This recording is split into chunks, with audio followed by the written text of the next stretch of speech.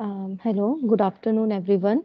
So, we welcome you all to the plenary session 5 of 21st National Space Science Symposium. This session, named Enabling Technology for Space Exploration, is chaired by Dr. N. Raghu and uh, Dr. M. Durga Rao.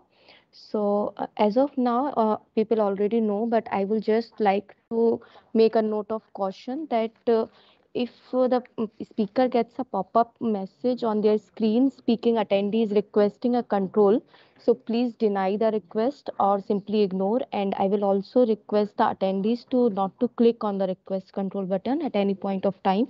So now over to you dr n. Raghu and uh, uh, dr m. Durga Rao thank you. Thank you, madam, uh, for these instructions and guidelines before we begin the session. So now it is uh, 2 p.m. So we are supposed to start the sessions. And I understand that uh, the speaker is also available and uh, the person speaker, I mean. And I see that uh, two more speakers, uh, uh, that is uh, Ghatul Shubham as well as Mithun also available in the presenters list. So, and so Dr. Durga Rao will be co-sharing the sessions along with me. So Dr. Durga Rao, shall we start the session? And uh, we can invite, we'll go with the first presentation. I can uh, introduce. Okay.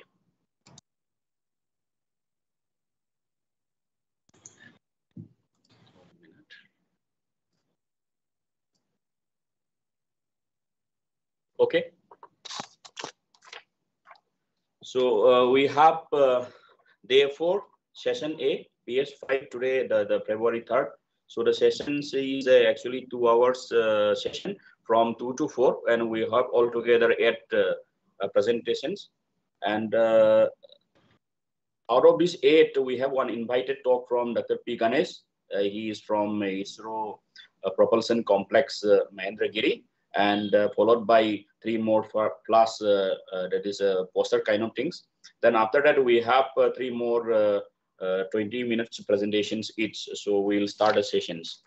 And uh, again, I welcome all the presenters as well as the audience to have uh, been in these sessions.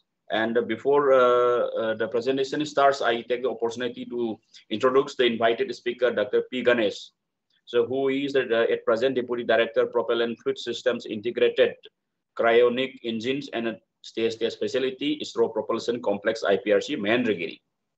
So Dr. Ganesh has done MTech in chemical engineering from IIT Madras, and he did his PhD in process systems engineering from Max Planck Institute, Germany. He also has done space studies program that is SSP 19 from International Space University, France. So while being in uh, service.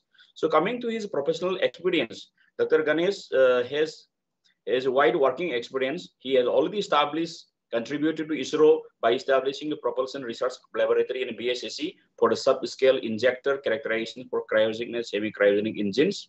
He also has worked on the design and testing of the hydrogen peroxide uh, based monopropellant thrusters. And currently he is working in the establishment of integrated cryogenic engines and stays their specialty at IPRC Mahendragiri. He also has uh, uh, research interests in the development of uh, in situ propellant uh, utilization technology for interplanetary mission, considering Moon and Mars exploration that he will be talking about today for another 45 minutes. And he also has contributed in terms of publications, more than 10 publications, peer-reviewed journals, and 20, more than 20 publications in the national and international conference. So it is our uh, actually pleasure and privilege to have Dr. P. Ganesh on board today in these sessions, and we are very eager to listen to his talk on in situ resource utilization for Mars and the Moon missions. So over to you, Dr. Ganesh. Yeah. Good afternoon. Uh, thank you very much, Raghu, uh, for the kind introduction, and thank you, uh, organizing committee, for the providing the opportunity to present uh, our work and especially our new developmental work, which is focusing on uh, another decade. So that is thank you very much for the organizing committee to give the opportunity to us. And uh, let us go through the presentation. So let me share the presentation. So, uh, sorry, getting my presentation, I'll switch off the video. I'll go. So yes, yes, presentation is in the Ganesh. Yeah. So So thank you. So the another I'll I'll make the presentation for another 30 to 40 minutes. So we'll keep another last five minutes if any question is there. So that way I made the presentation and we'll keep some question. and it is the topic is already as introduced by Raghu. This will be a very interesting topic which has been last 15 years around the world, around the globe. All spacefaring nation is working on this particular topic that is called the in situ resource utilization for Moon and Mars. So why this uh, in situ researchers uh, utilization that is called ISRU has uh, come into last 15, 20 years as a very prominent uh, technology which has to be investigated further for the maturity level. Uh, the only reason is uh, in future the people are expecting the robotic or human exploration or human settlement in uh, moon or Mars, the long-term settlement or long-term visit to the Mars and moon. So that is the ultimate aim. So in towards this ultimate aim to achieve it, this will be the one of the technology which will, if it is matured, then definitely it can help the mission point of view. That is what the people around the world and universities and the US, NASA, European Space Agency, we can say that all over the people are working around this particular topic. So maybe we'll go with the introduction on uh, in-situ research utilization. So then we'll go on, keep on to the topic a little bit more on uh, technical content. So what exactly the what is uh, ISRU? That is in-situ resource utilization.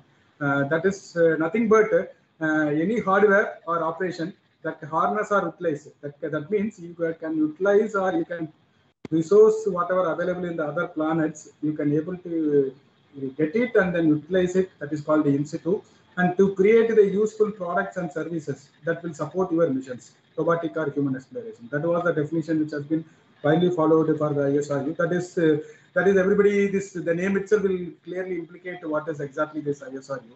So, what exactly the resource what we can uh, expect from the other planets, especially Moon and Mars. So, water. Sometimes in Mars we have the gases, atmospheric gases, volatiles, metals, and alloys and sunlight. Sunlight is a major energy source which is available in the resource. So what exactly meaning of the ISRU means? There is a three major elements which is ISRU which is coming into picture. One is the resource assessment. That means what are the resources available at the moon and Mars or other interplanetary. That is called the assessment and the mapping. And you have to do the geology and how the terrain condition is there. Those are the things are called the resource assessment. The next part element will be the acquisition. So how one can do the acquisition of this resource? Uh, either if it is the atmospheric gas, then how you will going to collect those gases, and if you want to get the regolith, then how you are going to excavate or uh, drilling it, and how you are going to transfer to what is the expected uh, plant or expected process you have to transfer it, and any pre-processing is required to before going to the processes. So that is called the resource acquisition, and the final part element will be the resource processing and production. That is a consumable production. So whatever you acquired resource, you have to convert it into a useful products, mainly on the propellants. So propellants means for your return mission or your support for the energy for the uh, moon and Mars, you need the propellants. So that propellants you have to produce it and the support gases. Life support gases means basically oxygen and nitrogen. So these two gases, how one can uh, produce it using the resources from the moon and Mars. And additionally that feedstock for manufacturing. Because you have to go the go for the moon and mars with autonomous mind of thinking. So you should have the autonomous and you should not be depend on the earth for any of the any manufacturing like uh, small small things. If you want to manufacture it, you have to get a feedstock out of the resource available in the moon and mars. That's what this is isru the major three elements. So uh, so what is uh, the difference is that uh, ISRU is the classical of make it versus bring it. So what is the meaning is that if you want to go to moon and Mars, whatever things what is required for your mission, robotic or human exploration, you have to bring it with yourself. That means all propellant for the return mission, life support system, any other etc. etc. Those all those things you have to bring it from your from Earth itself. That is called the bring it is the concept. Make it is the things try to avoid bringing the more material or more uh, propellants or more life support system from the earth. Try to make it at the moon surface or mars surface. That is the difference between the make it as a bring it. The conceptual or uh, historical point of view bring it. When you take apollo mission lunar uh, model apollo mission the, everything has been taken from here. So it is nothing has been uh, produced or nothing has been resource has been used except the energy.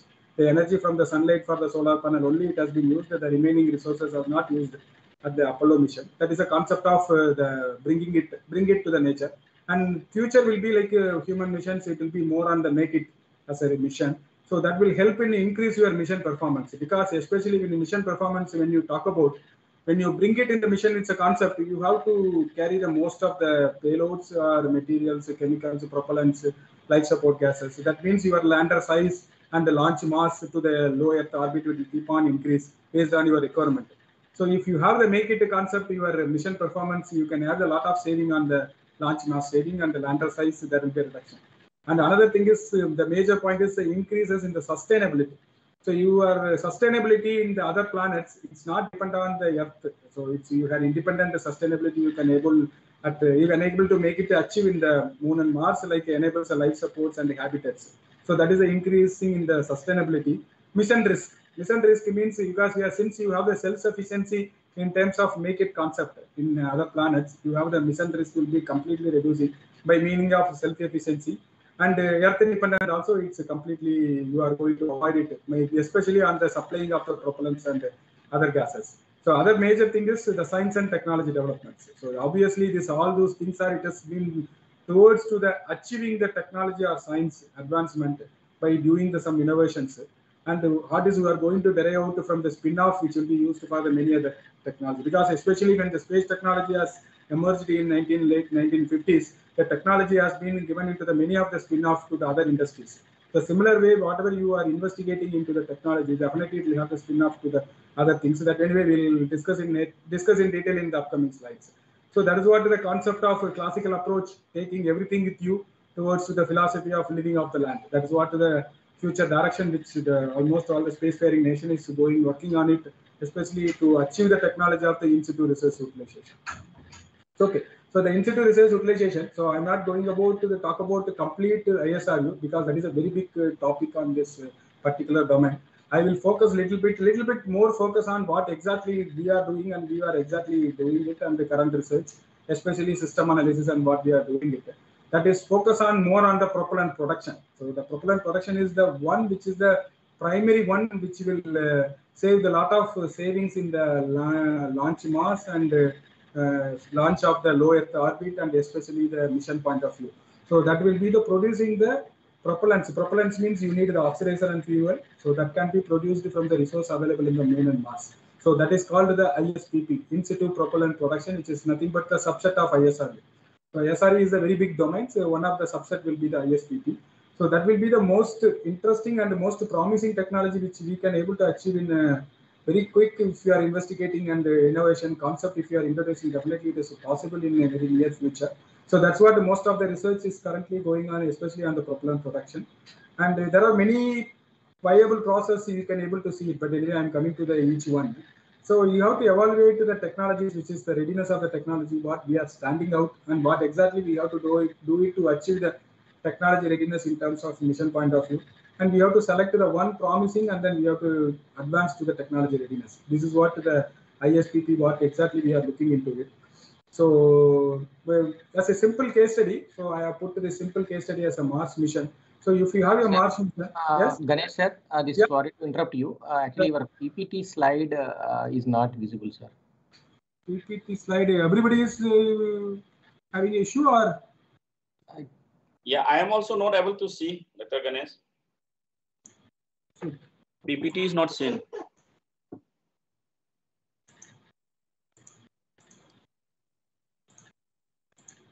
now?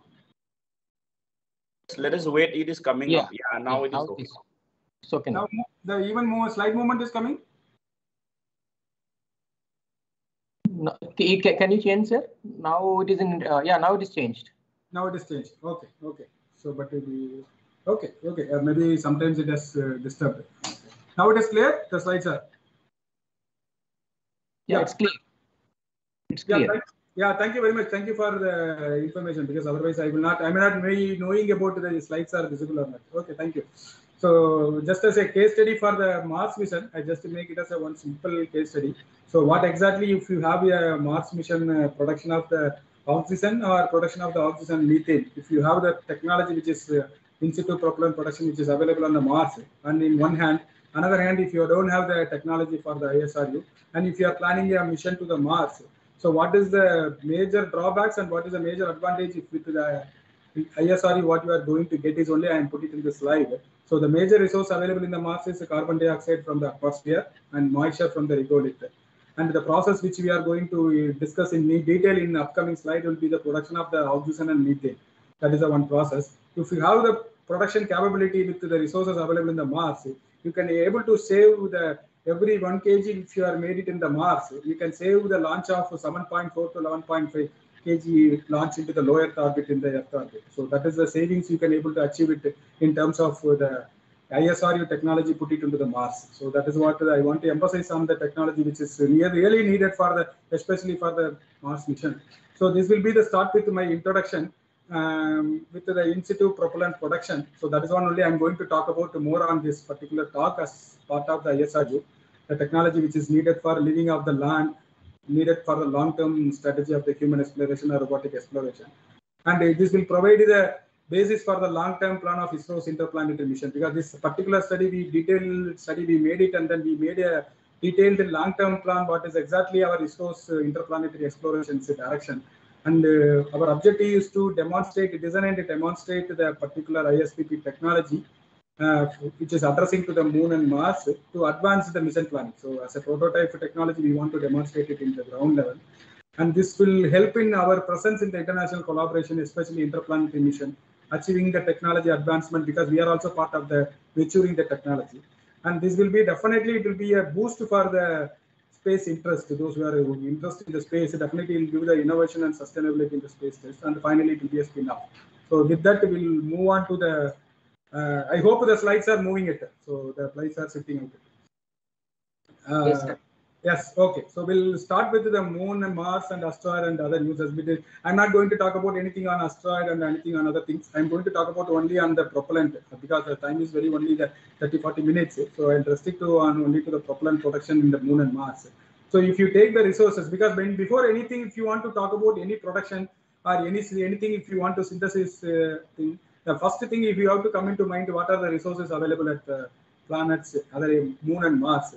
So with the moon and Mars, if you take the major resource, uh, many things I have listed here, but the major research which is addressing to the production of the propellant, which will be the one will be the moon with there is a water ice regolith in the polar regions that is everybody knows it. That is the one water is available in the moon and the polar region. And uh, hydrated soils also there are many missions in the mars which has been telling us a confirmation on some so 4 to 7 percentage of water is available in the hydrated soils or regolith of the mars so that is the two sources and another source for the oxygen at the moon will be the moon soil or moon regolith which is the 45 percentage of the oxygen content is available in the moon soil Anyway, that ilmenite or anything I will discuss in the next upcoming slide.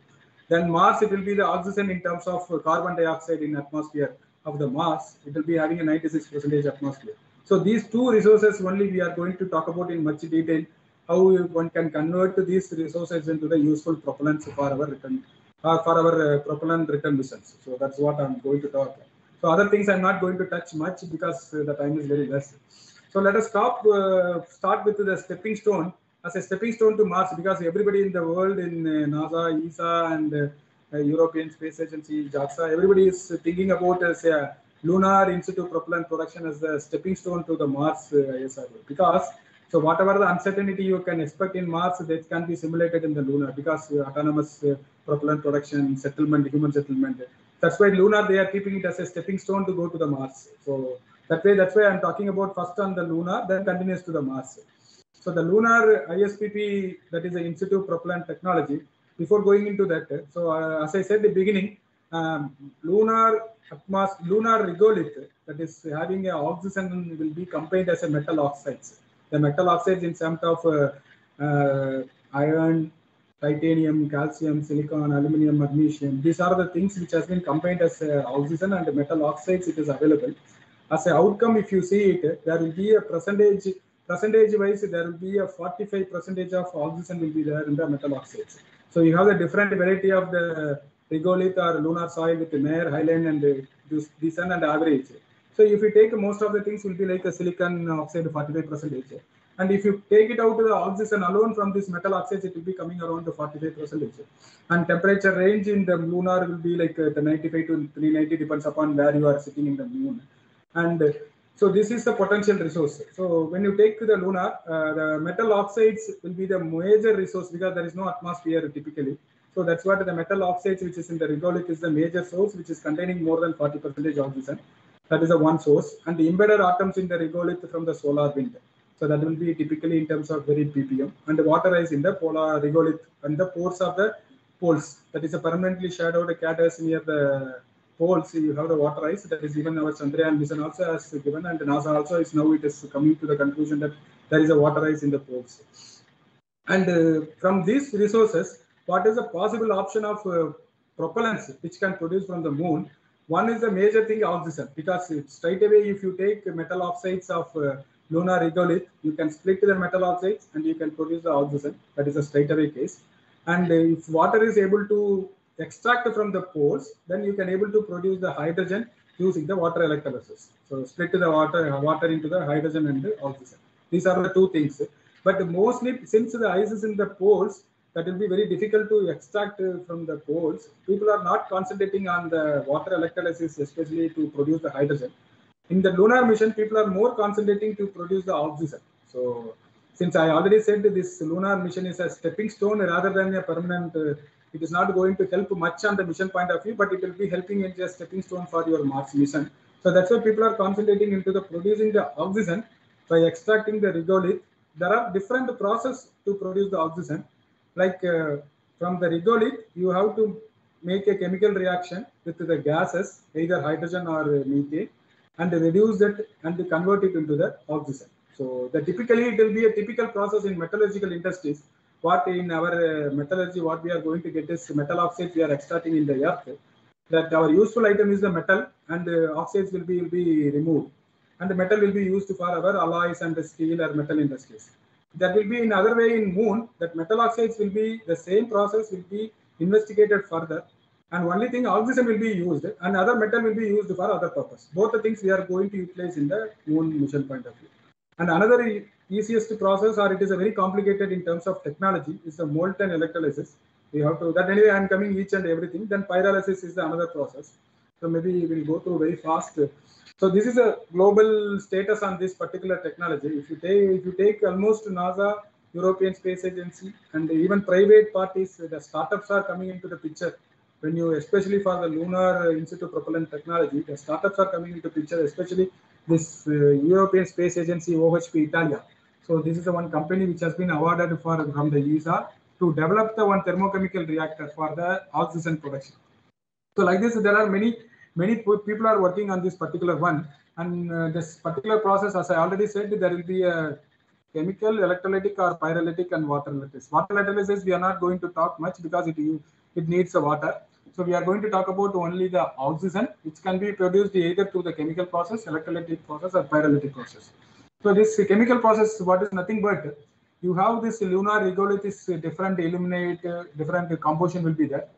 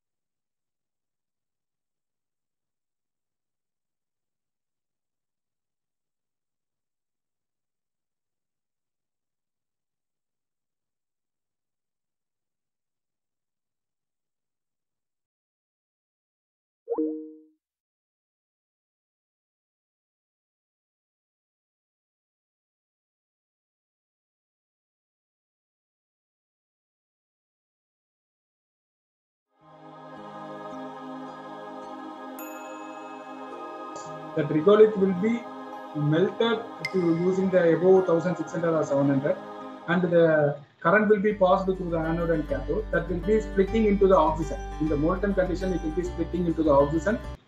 And the cathode will be the all metals will be deposited. So that means electrochemical process which can produce the oxygen uh, that is having a very good yield with the 0.25 kg of oxygen with uh, per kg of raw material. Because here we are not going to separate the feedstock. The complete feedstock without the pre-processing can be utilized for the molten electrolysis point of view. But it is a single step process. The major drawback which is coming into picture in the molten is this anode is coming with the oxygen. There will be oxidation of the anode will be there because oxygen, high temperature oxygen which is coming into the anode, it will be a challenging technology which is to be matured. And another one will be the vacuum pyrolysis. Vacuum pyrolysis is the technology in which uh, uh, high because the lunar condition is having a vacuum ultra vacuum condition. So that ultra vacuum condition can be utilized to, to maintain a reactor in the vacuum condition.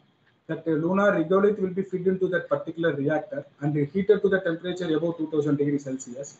Then oxygen will be separated out from the metal oxide that you want then that metal oxide, whatever oxygen separated, it will be again uh, stored the cryogenic cooling. So this metal oxide plus heat plus vacuum, it will be producing the oxygen. So here this this also will give the good yield and good oxygen recovery, and it is a major advantage. It's a single step process. You don't need to any pre-processing of the feedstock. You don't need to do, and the primary energy source will be the electric. Only the drawback will be like uh, operating temperature is slightly higher than compared to other process, and immediately we have to oxygen separate out from the from the reactor. Otherwise, again, this oxygen will be joining with the metals and join as a metal oxides. The oxygen removal once the reaction, once the 2000 degrees Celsius, it will be a rapid. Otherwise, you have again recombination of the oxygen with the metals will happen. So this is the vacuum pyrolysis, uh, the technology challenges. So with that, what we, what exactly the system analysis as a case study, one particular lunar mission with the modular construct, uh, considering a certain thrust level of uh, lander mission, and considering the 2000 second operation, how much propellant is required. And uh, considering this, all these four process has been taken into consideration and then the comparative qualitative and as well as the quantitative comparative in terms of mass and the energy requirement for the considering the 30 earth days and we did the analysis and uh, based on this uh, theoretical analysis you see that each process will have yield the oxygen but different kind of value the lowest will be the solid oxygen and the molten and the vacuum will give the better oxygen yield per kg of uh, regolith. And for comparing these four process, especially this four process, we have taken the five different metrics like technology and uh, steps. What is the technology readiness, any new development, and what are the process condition, pressure and temperature, energy, feedstock, and how much efficiency and yield. These are the things we have taken into consideration and which one will be the promising technology to advance the particular lunar ISPP. Then we compared with the matrix like uh, high, low, and moderate. So the, everywhere, wherever the green is there, it is having a efficient one, which is will be the energy efficient like that. The technology readiness high means this is a very near future we can able to achieve this technology. So already there will be a TR level two, three, something it will be there. So that will be like that means we can able to achieve the technology at the very earliest. Very low means it is will be very in the child nature because just only it has started this technology advancement. Uh, number of steps process means a complex means there will be a number of too many number of chemical process will be there. It will be very difficult to handle. And one step means it's an easy process. Like that, we have separated this matrix for this each process and concluded that we have the vacuum pyrolysis process, which is having a more green, which is in terms of the throughput to feedstock and the process condition and the single step process so only the technology which is not readiness is a very moderate. I cannot I cannot say that it has been achieved. It is still in the TR2 level only. So with that, we concluded that for advancing the lunar in situ propellant production technology, one of the promising will be the vacuum pyrolysis techniques. We will take forward and we will achieve this technology in the prototype model. Uh, that prototype model will be looks like this this regolith collection and this basis will be like uh, we have designed the basis as a 35 kg of per day of oxygen can be produced by the prototype model, which is we are going to demonstrate in the ground uh, for the prototype demonstration. And the one of the major thing is here we need the lunar soil, lunar simulant lunar regolith, uh, in which ISRO has already achieved the technology to produce the simulant lunar simulant soil. That is ISRO LSS. That is only we are proposed to use to make the oxygen from the lunar regolith. This will we are already started in the system engineering and maybe very soon we are able to demonstrate in the as a prototype model. So going into the Mars in situ propellant production, so this will be the most interesting and challenging one. Uh, maybe very, very quickly we'll go. So advantages of Mars in situ propellant technology that already I spoke in the first slide itself. It is definitely it is having a propellant mass saving for the mission to the Mars. So there will be a like if you have the none, none means you are not going to produce anything from the Mars. And oxygen alone, if you have oxygen alone, if you can able to produce at Mars, or you can able to produce both oxygen and the fuel as a methane. That means you can save the propellant to 60 percentage and 80 percentage. That is a mass which is you are going to inject into the lower orbit. You have a lot of savings. That is a 77 percentage weight savings you can able to achieve if the technology of the Mars ISPP has been matured. So before going into that, uh, resources in the Mars. So as uh, Mars atmospheric, everybody knows it is having a carbon dioxide rich. That means a 95 above 95 percentage of the atmosphere gas will be the carbon dioxide. That will be the one of the most uh, promising resource for in terms of oxygen. And the soil which, which is having a water which is uh, almost 8 to 10 percentage which is under the maybe uh, below the some uh, 3 meter 4 meter level. That's what it has been reported. So the atmosphere is uh, pressure is uh, very low pressure and the temperature is uh, average temperature is around 210 Kelvin. But we can expect higher temperature in 20 degrees Celsius also in the Mars atmosphere. So the global status, if you take, uh, there are there are many people are working on this. I'm not bringing the, all of them. The most prominent three only I brought here because it is very interesting one. One has been already achieved the technology in the Mars surface that is called the MOXIE, Mars Oxygen ISR experiments. So that is nothing but to produce the oxygen by collecting the carbon dioxide from the Mars atmosphere, split the carbon dioxide molecule into carbon monoxide and oxygen that has been already demonstrated through the latest uh, Perseverance um, Mars mission as a MOXIE payload. Another one is the is currently under uh, investigation by the same again with the NASA. And the famous one will be the SpaceX, the private player which is uh, doing the Starship mission. He has, as part of the SpaceX plan to the Mars mission, he has uh, SpaceX is having a long-term mission to establish a very big plant to produce the methane and oxygen using the carbon dioxide available in the Mars surface. So that anyway, I will coming again. So this is the MOXIE. The MOXIE is nothing but uh, the carbon dioxide is the source of oxygen. The carbon dioxide will be electrochemically solid oxide electrolysis. That is called. Uh, that through that you are going to split the carbon dioxide into oxygen and carbon monoxide. So as part of Mars 2020 mission, already 5.2 grams of oxygen produced that is the greatest uh, technological achievement which has been uh, happened in uh, last year last year i think april 2021 it has been demonstrated with the 5.27 at the mars surface.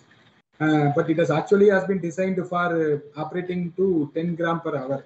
So that is what the ultimate aim but almost 5.27 gram grams they achieved the technology.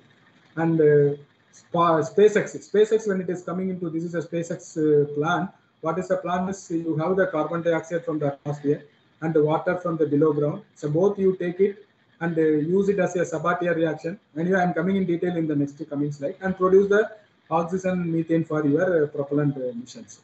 So let us talk about here also the same way. There are n number of you have the resource carbon dioxide and water from the beneath and the sunlight as energy. So you have the n number of process and n number of propellants.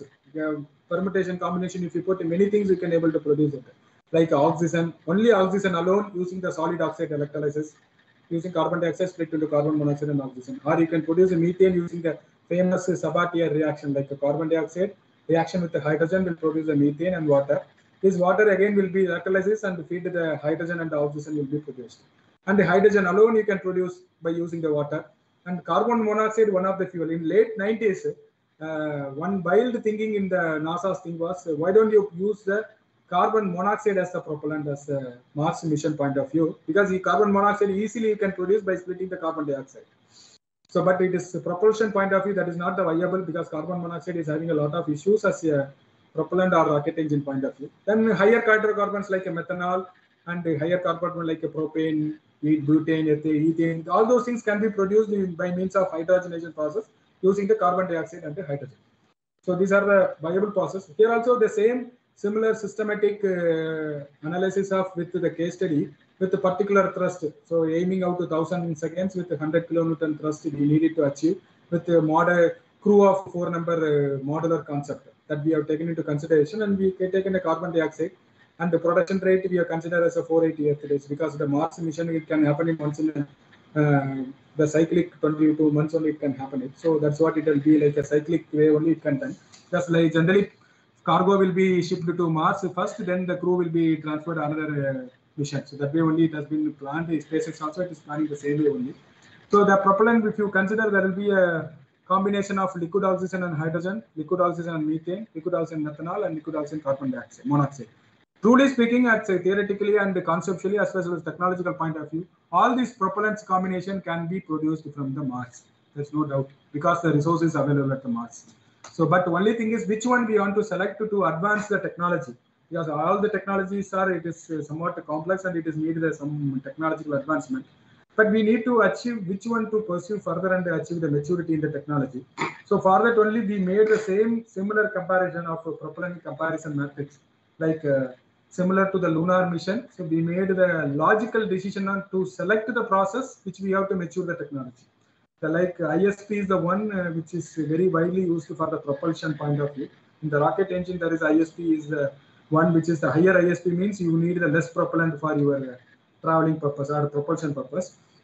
And the density of the propellant is the one and the propulsion technology because what is the level of propulsion technology which is available in Earth which is used in the launch vehicle and the energy efficiency. If you take the remaining uh, carbon monoxide, methanol and higher hydrocarbon, these are the things which is there is no propulsion technology as of now it is not available.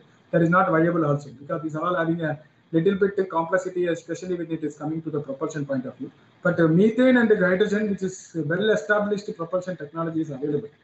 So methane and hydrogen, because more than 40, 50 years, 60 years, this propulsion using the methane and hydrogen has started to technology. Even though methane is not having a flight version of the rocket engine, but it has been technology has been started to investigate more than 50, 60 years on the methane point of view.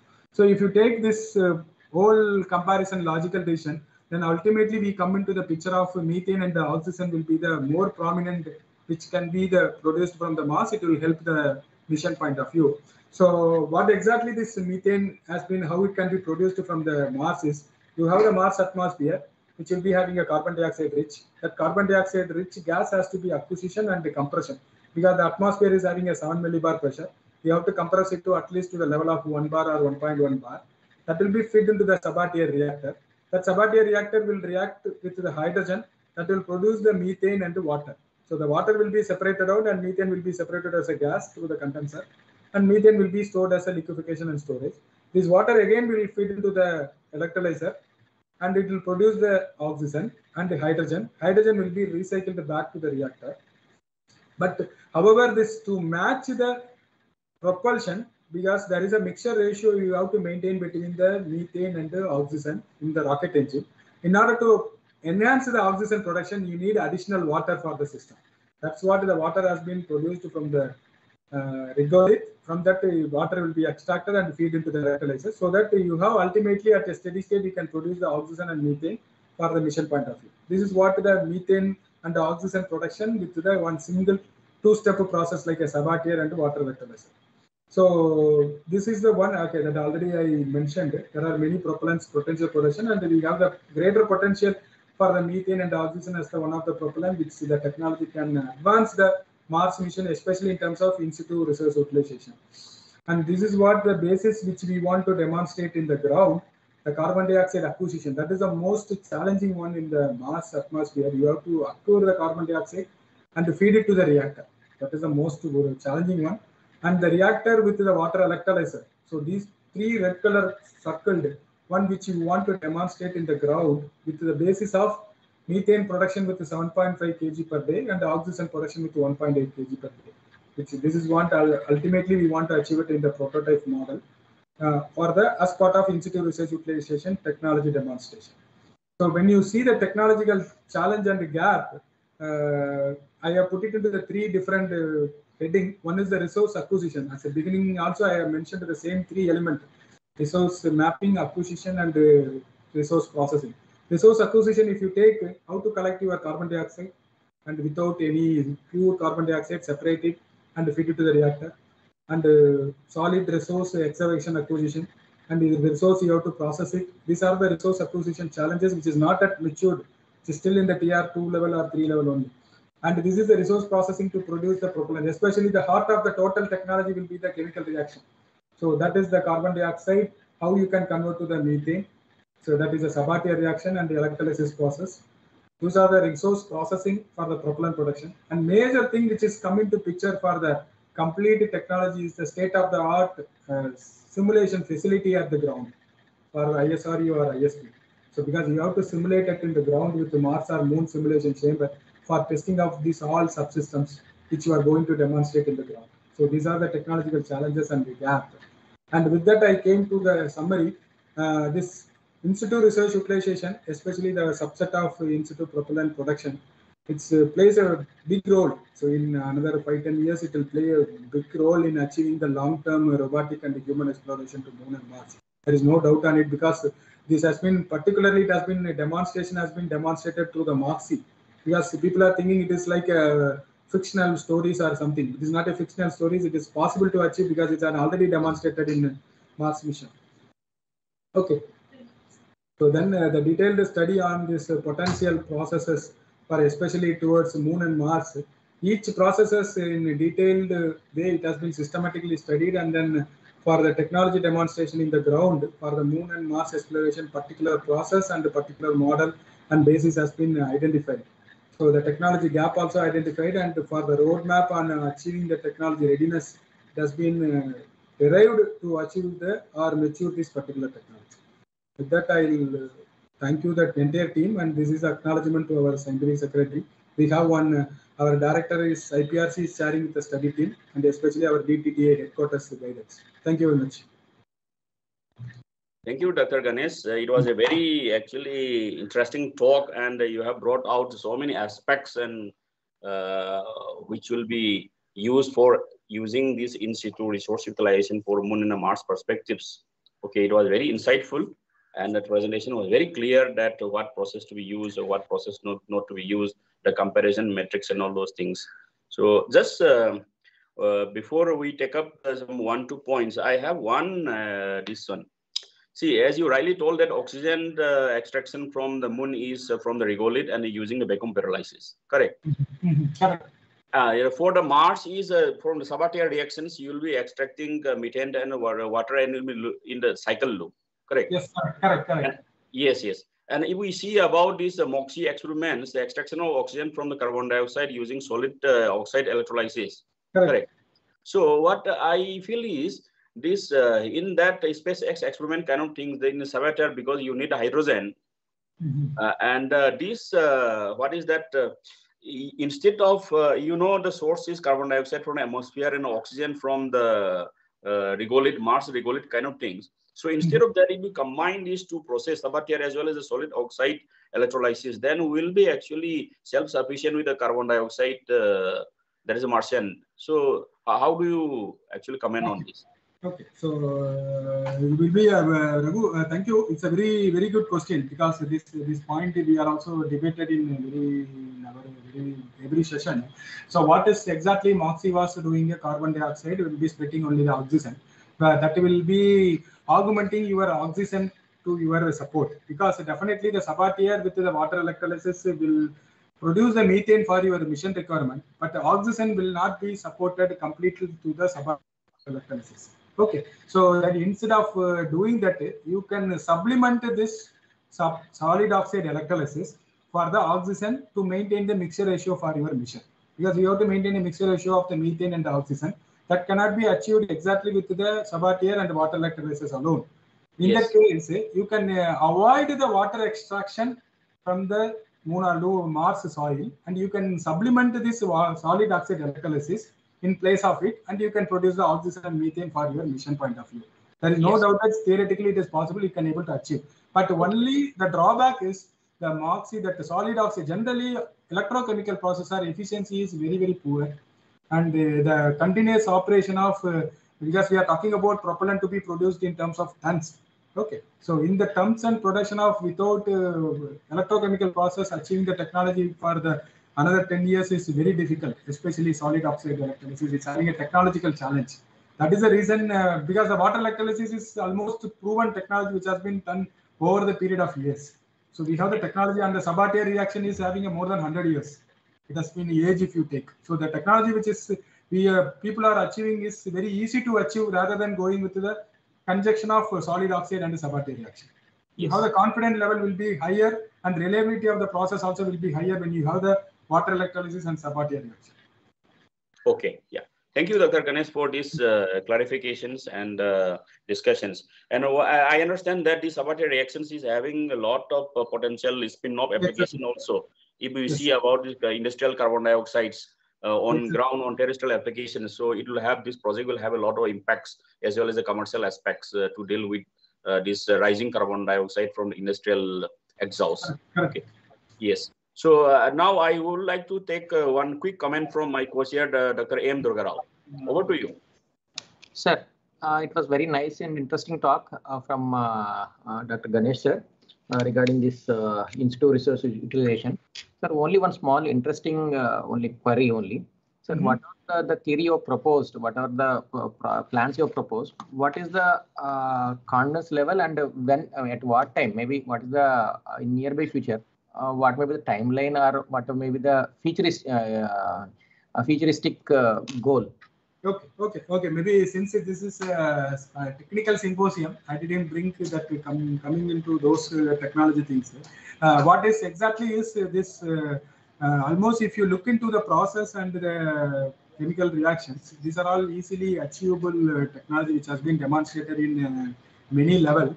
Only thing is we have to address this technology to qualify in terms of the space. So space worthy because the space components is having a peculiar characteristics compared to the ground-based system. So those things point only it has been need to be addressed on particular uh, things. Okay. So that is the first thing we have to address on this particular.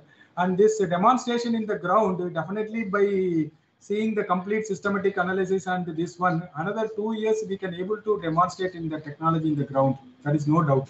So because definitely it is possible to achieve if you are uh, working uh, because it is easy to achieve because this process are well-known process. Because you have you are very clear about what is exactly the reaction what exactly it can produce it. So only thing is you have to do the system engineering to make it as a very light and compact to the system. So that is the only major thing which is needed in the especially Sabatier reaction and the water electrolysis. So definitely it is possible to achieve this particular kind of things in another two to three years. Uh, but mission point of view it is a lot more things we have to do it but if we are not doing our in the world, definitely the SpaceX will definitely is having in advanced stage. I can say that they can able to demonstrate in 2025 or 27. They are planning to send the Starship into the Mars. So they are having a plan, well plan of uh, mission of uh, demonstrating this particular Sabatier and uh, water electrolysis for the methane and the oxygen production. Thank you, sir. Yeah, thank you, uh, Dr. Ganesh and uh, Dr. Durga Rao for the discussions, uh, very interesting discussions. One, uh, one, two quick uh, questions from, because we are running short of time from the audience. If any one or two questions, then we'll take up, then otherwise we'll go to the next presentation. I think there is a small question in the chat box here from Abhijit Deepak. Yeah. okay. is, uh, How are the importance of the resources decided on Mars? So that How is the, importance of recyclable? How how- are the importance of of resources resources? decided for Mars. Okay, the importance of resources is based on your final product. So what you are exactly aiming in the Mars. So because if, if you take me, I am thinking about to, to produce only the propellant.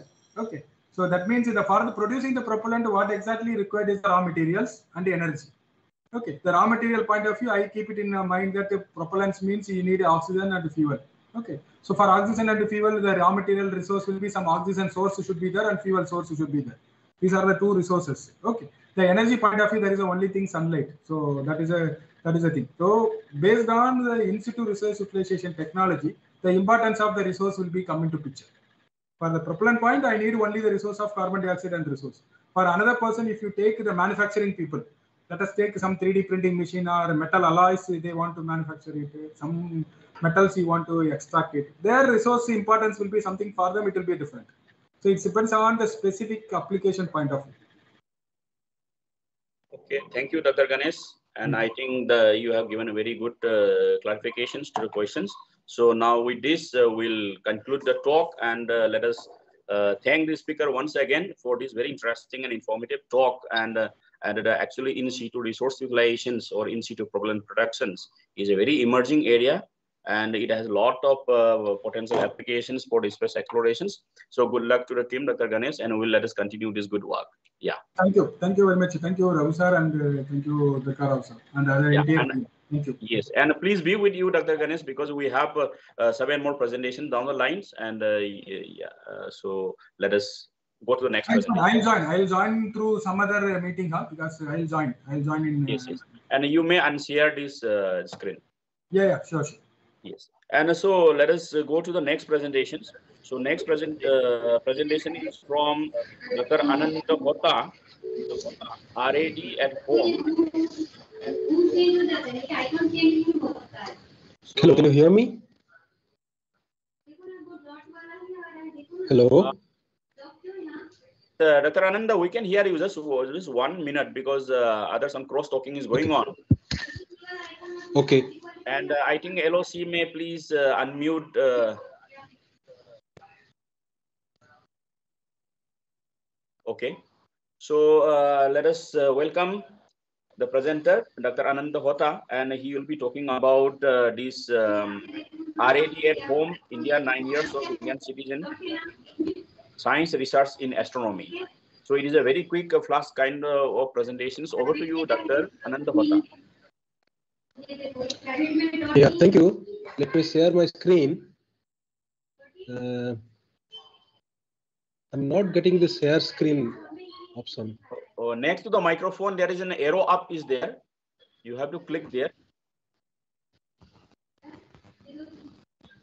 No, no, down actually there will be some. there? Yes. Yeah, yeah. Now it's coming. Okay. Wait a minute.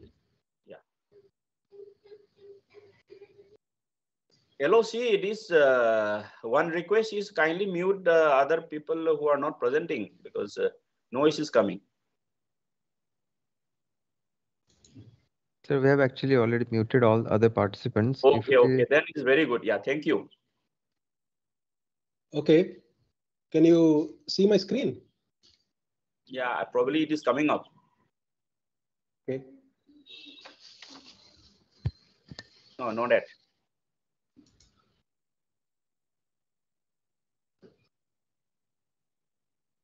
Now it has come up. Okay. Yeah, we, great. we can see. Yeah, please go ahead. Okay, great. I can uh, start now. it's a quick thing, so I have to be also quick. Okay, thank you very much, the SOC for selecting uh, this to be presented. I'm in a kind of a wrong session. It is mostly astronomy, astrophysics, but I'm put in a technology part. So I will slightly highlight that aspect also. Title of my talk is uh, RAD at Home India, Nine Years of Indian Citizen Science Research in Astronomy. There are various co-authors, including some citizen scientists and some professional astronomers from various institutes and from this network. so roughly, this is a packed images, but I will briefly tell you that this is the first Indian citizen science research platform in astronomy. Launched as zero funded, zero infrastructure nationwide inter-university collaboratory on April 15, 2013. It is a large number of people who are interested in it. There is total of 4,700 online members in the Facebook group. Out of them, 2,000, more than 2,000 are actively learning what we call RGB, red, green, blue, UV, optical, infrared, radio, image analysis, sitting in the Facebook group. There are basically 30 professional astronomers at 30 different institutes, including ICTS, TIFR, IOP, HRA, CBS, where I work, and Vigyan Prasar, Nehru Planetarium, Vigyan Samagam, many organizations have supported. What they have exactly supported? They have supported the citizen science research training programs. I will go to the science part in the next slide. So at the image, you can see that the science goal is something that I will be talking next. There are various institutions that are supporting this program. What is this program? It's a nationwide trained citizen science network who are oriented to make some discoveries with the giant metrewave radio telescope data. So that is how this is the only citizen science program that is India, which is looking at the Indian telescope data. Even if there are others, they are looking at the foreign telescope data actually. So we kind of organize various citizen science training program with the help of various institutes. We afterwards keep on analyzing the data in the social media. We discuss there, everybody learns from that discussion. That's what is the plot that thousands of people are actively learning there. We certify them after a program, and that's how they grow like a trained Syrian scientist. So we have institutions supporting in the flying pyramid model. I may be the few in the leader, but there are thousands who are learning this thing. There are tens of institutes which are supporting it. There are tens of astronomers who are helping this trained Syrian scientist publish. So this is how basically a man-machine combined system has been created where this is the discoveries are happening. Let me go to the next one. Here is the astronomy part we have discussed. What is going to be discovered is simply defined as students are told that discover something faint and fuzzy, that the automated algorithm, AI, ML based algorithms will struggle in converging their algorithms to discover and characterize them.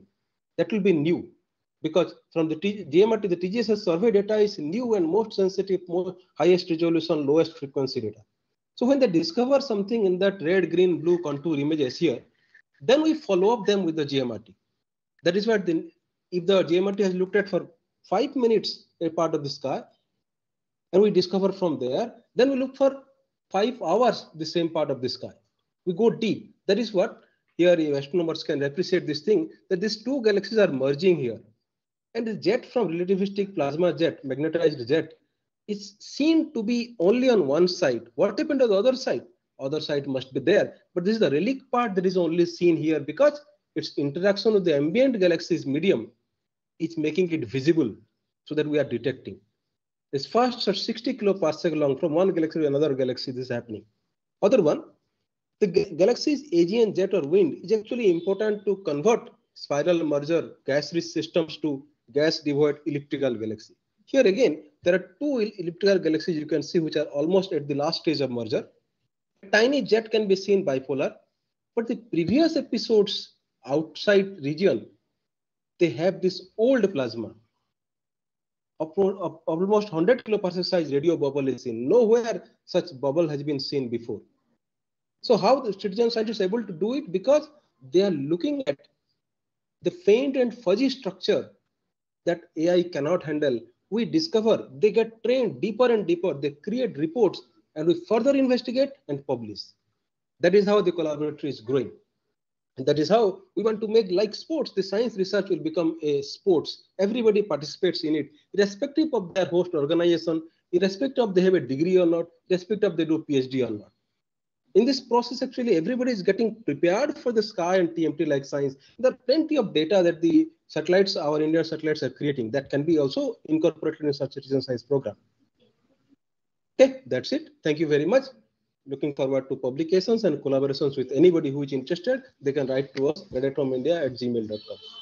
Thank you very much. Thank you, yeah, Thank you, Dr. Ananda Hota, for this quick and very informative, and it is a new information for us also, probably BUC. Uh, and good to hear that uh, your and your team is doing a very good service uh, to train people online, and basically is actually is a network of uh, intellectuals Yes. I can understand that, and uh, is basically this kind of service is really rare. Okay, in today's world. So probably I think this will uh, uh, actually mostly benefited to the students community who are actually young as well as the uh, beginners. Okay, to learn the things. Yes. Because they don't know where to go and where to learn the things, probably yes. your service will be very helpful to them. I was there in IISER Kolkata also to have this kind of a camp. There are more than 150 students participated in your computer lab. Yes, yes, that is what exactly surrounding also came. Yes, yes, yeah, it is a really good. Then I would like to have a quick comment from my co-chair, Dr. M. Durga Rao. After that, we'll move to the next presentation. Sir, uh, yeah, such no comments. Uh, there is one uh, uh, quick uh, question I can uh, read from the chat box. Okay. So the question is from the Dr. Abhishek Deepak. Okay. So how is the correctness of the RGB image decided when a new citizen scientist contributes? Okay, there are uh, two things. One, they themselves create images and then upload in the Facebook group and discuss. When they find something interesting, the trained members actually discuss with that new thing. After that discussion, when it is becomes access acceptable and found to be new, then we have a RGB maker tool which creates those images in a standard format. then they upload in a Google form that I report a possible discovery to this thing. I, of, of course, approve them. Yes, it is a possible discovery. So now you can report for professionals to further investigate. So there is always a rough edge or untrained discussion. Then with the group member, it becomes matured. And after it is matured, we approve them to be submitted to the collaboratory as a possible discovery. From there, the professionals again discuss, not the, the trained citizen scientist. That is how it moves hierarchically. Okay, thank you, Dr. Ananda Hota. I think that the answer is very clear. So probably it is uh, this Avijit uh, Deepak uh, will follow the link as well as may join also in the discussion. So let us thank uh, the speaker, Dr. Ananda Hota, for this uh, quick and very informative presentations. Thank you very and much. Please, and please be with you in this session, okay, uh, till the four, and it is continuing. We have six more presentations down the line. So next presentation, let us welcome uh, Dr. Jaya Krishna Meka from PRL, uh, Ahmedabad. So he will be presenting on a design and development of laboratory-based microgravity experimental setup. So this also very quick and uh, fast kind of uh, presentations. Over to you, Dr. Jaya Krishna Meka. And Dr. Anand Hota may answer. Yes, yeah, already done.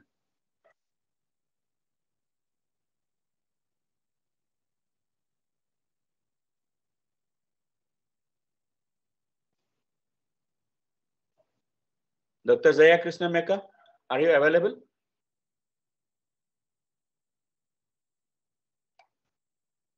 Uh, I think I don't see in the presenter's uh, name. So we'll go to the next presentation. So probably he may join later. So next presentations, uh, we'll let us welcome Dr. Gatul Subham Jan Kiram from IIA, Bangalore. So he will be presenting on the development of spectro graph in FUV region for a possible ISRO flight. So this is also very quick presentations. Over to you, Dr. Ghatul Shubham. Yeah, thank you, sir. Um, so my name is Shubham and the title of my poster is Development of a Spectra in the Far Ultraviolet Region. Um, I hope you all have seen my poster, so I'll directly move to uh, the presentation, short presentation that I've uh, prepared. So the far ultraviolet is one of the most exciting parts of the astrophysical spectrum, uh, which ranges from 900 to 1800 Angstroms. Uh, for it has the highest density of absorption and emission lines compared with any other part of the electromagnetic spectrum.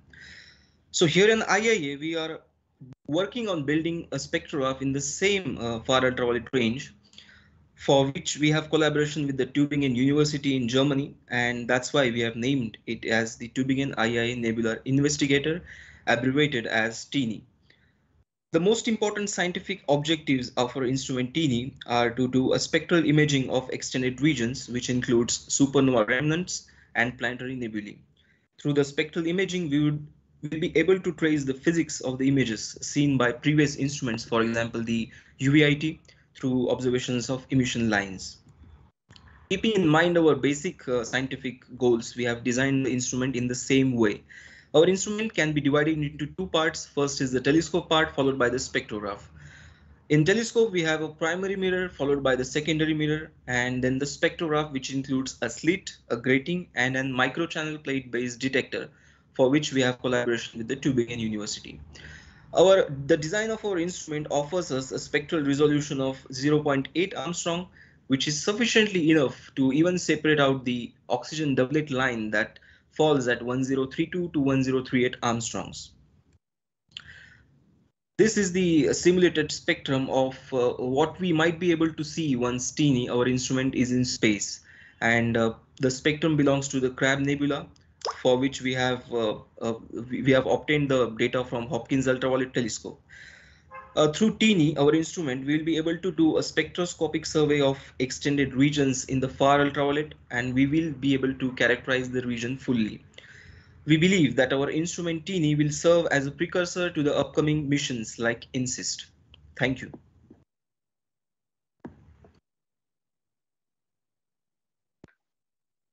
Thank you, Dr. Ghatul Shubham, for these very quick presentations. And we are happy to know that this development is taking place and it will uh, open up a new uh, this uh, opportunity to such spectrograph in the far UV regions. So just wanted to know what is the status of this development? Is this uh, we understand that is indigenous development in collaboration with Germany, correct? Right. So what is the status of this uh, instrument? Uh, the the project has just commenced uh, in in about two months ago. So we are in the preliminary stage. We have identified the vendors and we have we are working on the design of the spectra so far. Okay, that, uh, the other way I will ask that what is the timeline because uh, the project is one year, two years, or what is the timeline? The, the yeah, the timeline we we have selected an ambitious uh, ambitious timeline of three years, and we believe that we will be able to achieve it. Okay, okay. Within three years, you will be developing this indigenous uh, instrument, correct? Right, right. Yeah. Okay. So thank you. And uh, now one quick comment from the co-chair, uh, Dr. M. Durga Rao. Over to you. Uh, sir, uh, here I want to know because a new development. Uh, Yes. What are uh, what are your objectives and what are your goals of this project?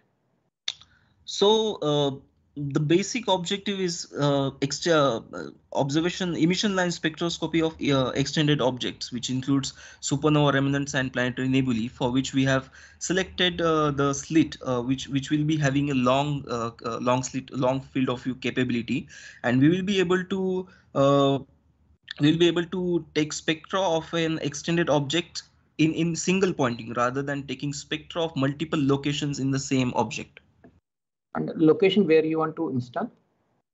um, uh, we we are having uh, we are in a proposal stage with the ISRO for which uh, like uh, we believe that once the proposal is accepted, the ISRO will launch our instrument um, um, sometimes in 2025. Mission is yet to identify. It. Yes. Yes. Fine, fine. Yeah. Thank you, uh, Dr. Ghatul Shubham. Uh, Yes, and uh, thanks. yeah, please continue your good work and hopefully uh, by 2024 25 timelines we'll be able to actually come up identify the uh, uh, missions and your actual instrument will fly and uh, bring up with new uh, observations. Yes, definitely. Thank you for this. Yeah, thank you. And please be with us. So now let's move to the next uh, speaker, Dr. Akhilesh Kumar from Benares Hindu University. So he'll be presenting on the space exploration using artificial intelligence for human health. So uh, Dr. Akhilesh Kumar, are you available? Yes, sir. Thank you, sir. Yeah, then uh, just please continue uh, with your presentations. Is it visible, sir, screen? Yes, it is visible. Please go ahead.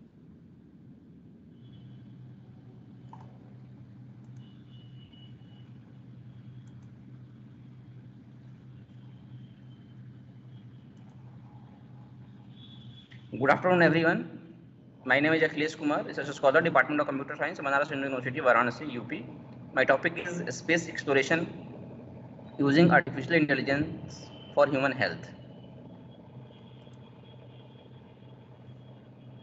I will discuss the challenges of space for human health. The efficacy of currently available countermeasures is limited. Is it justifiable to- send human ast- astronauts to space? The case for human expansion into space, the challenge for humanity, human-like robots in space, conclusion. The challenges of space for human health. Long human space flights are hampered by the negative effects of the space environment on human health. This environment is difficult to broad and complex way since it is diversely impact all human system at the same time. Space radiation is one of the most difficulties. The efficacy of current available countermeasures is limited.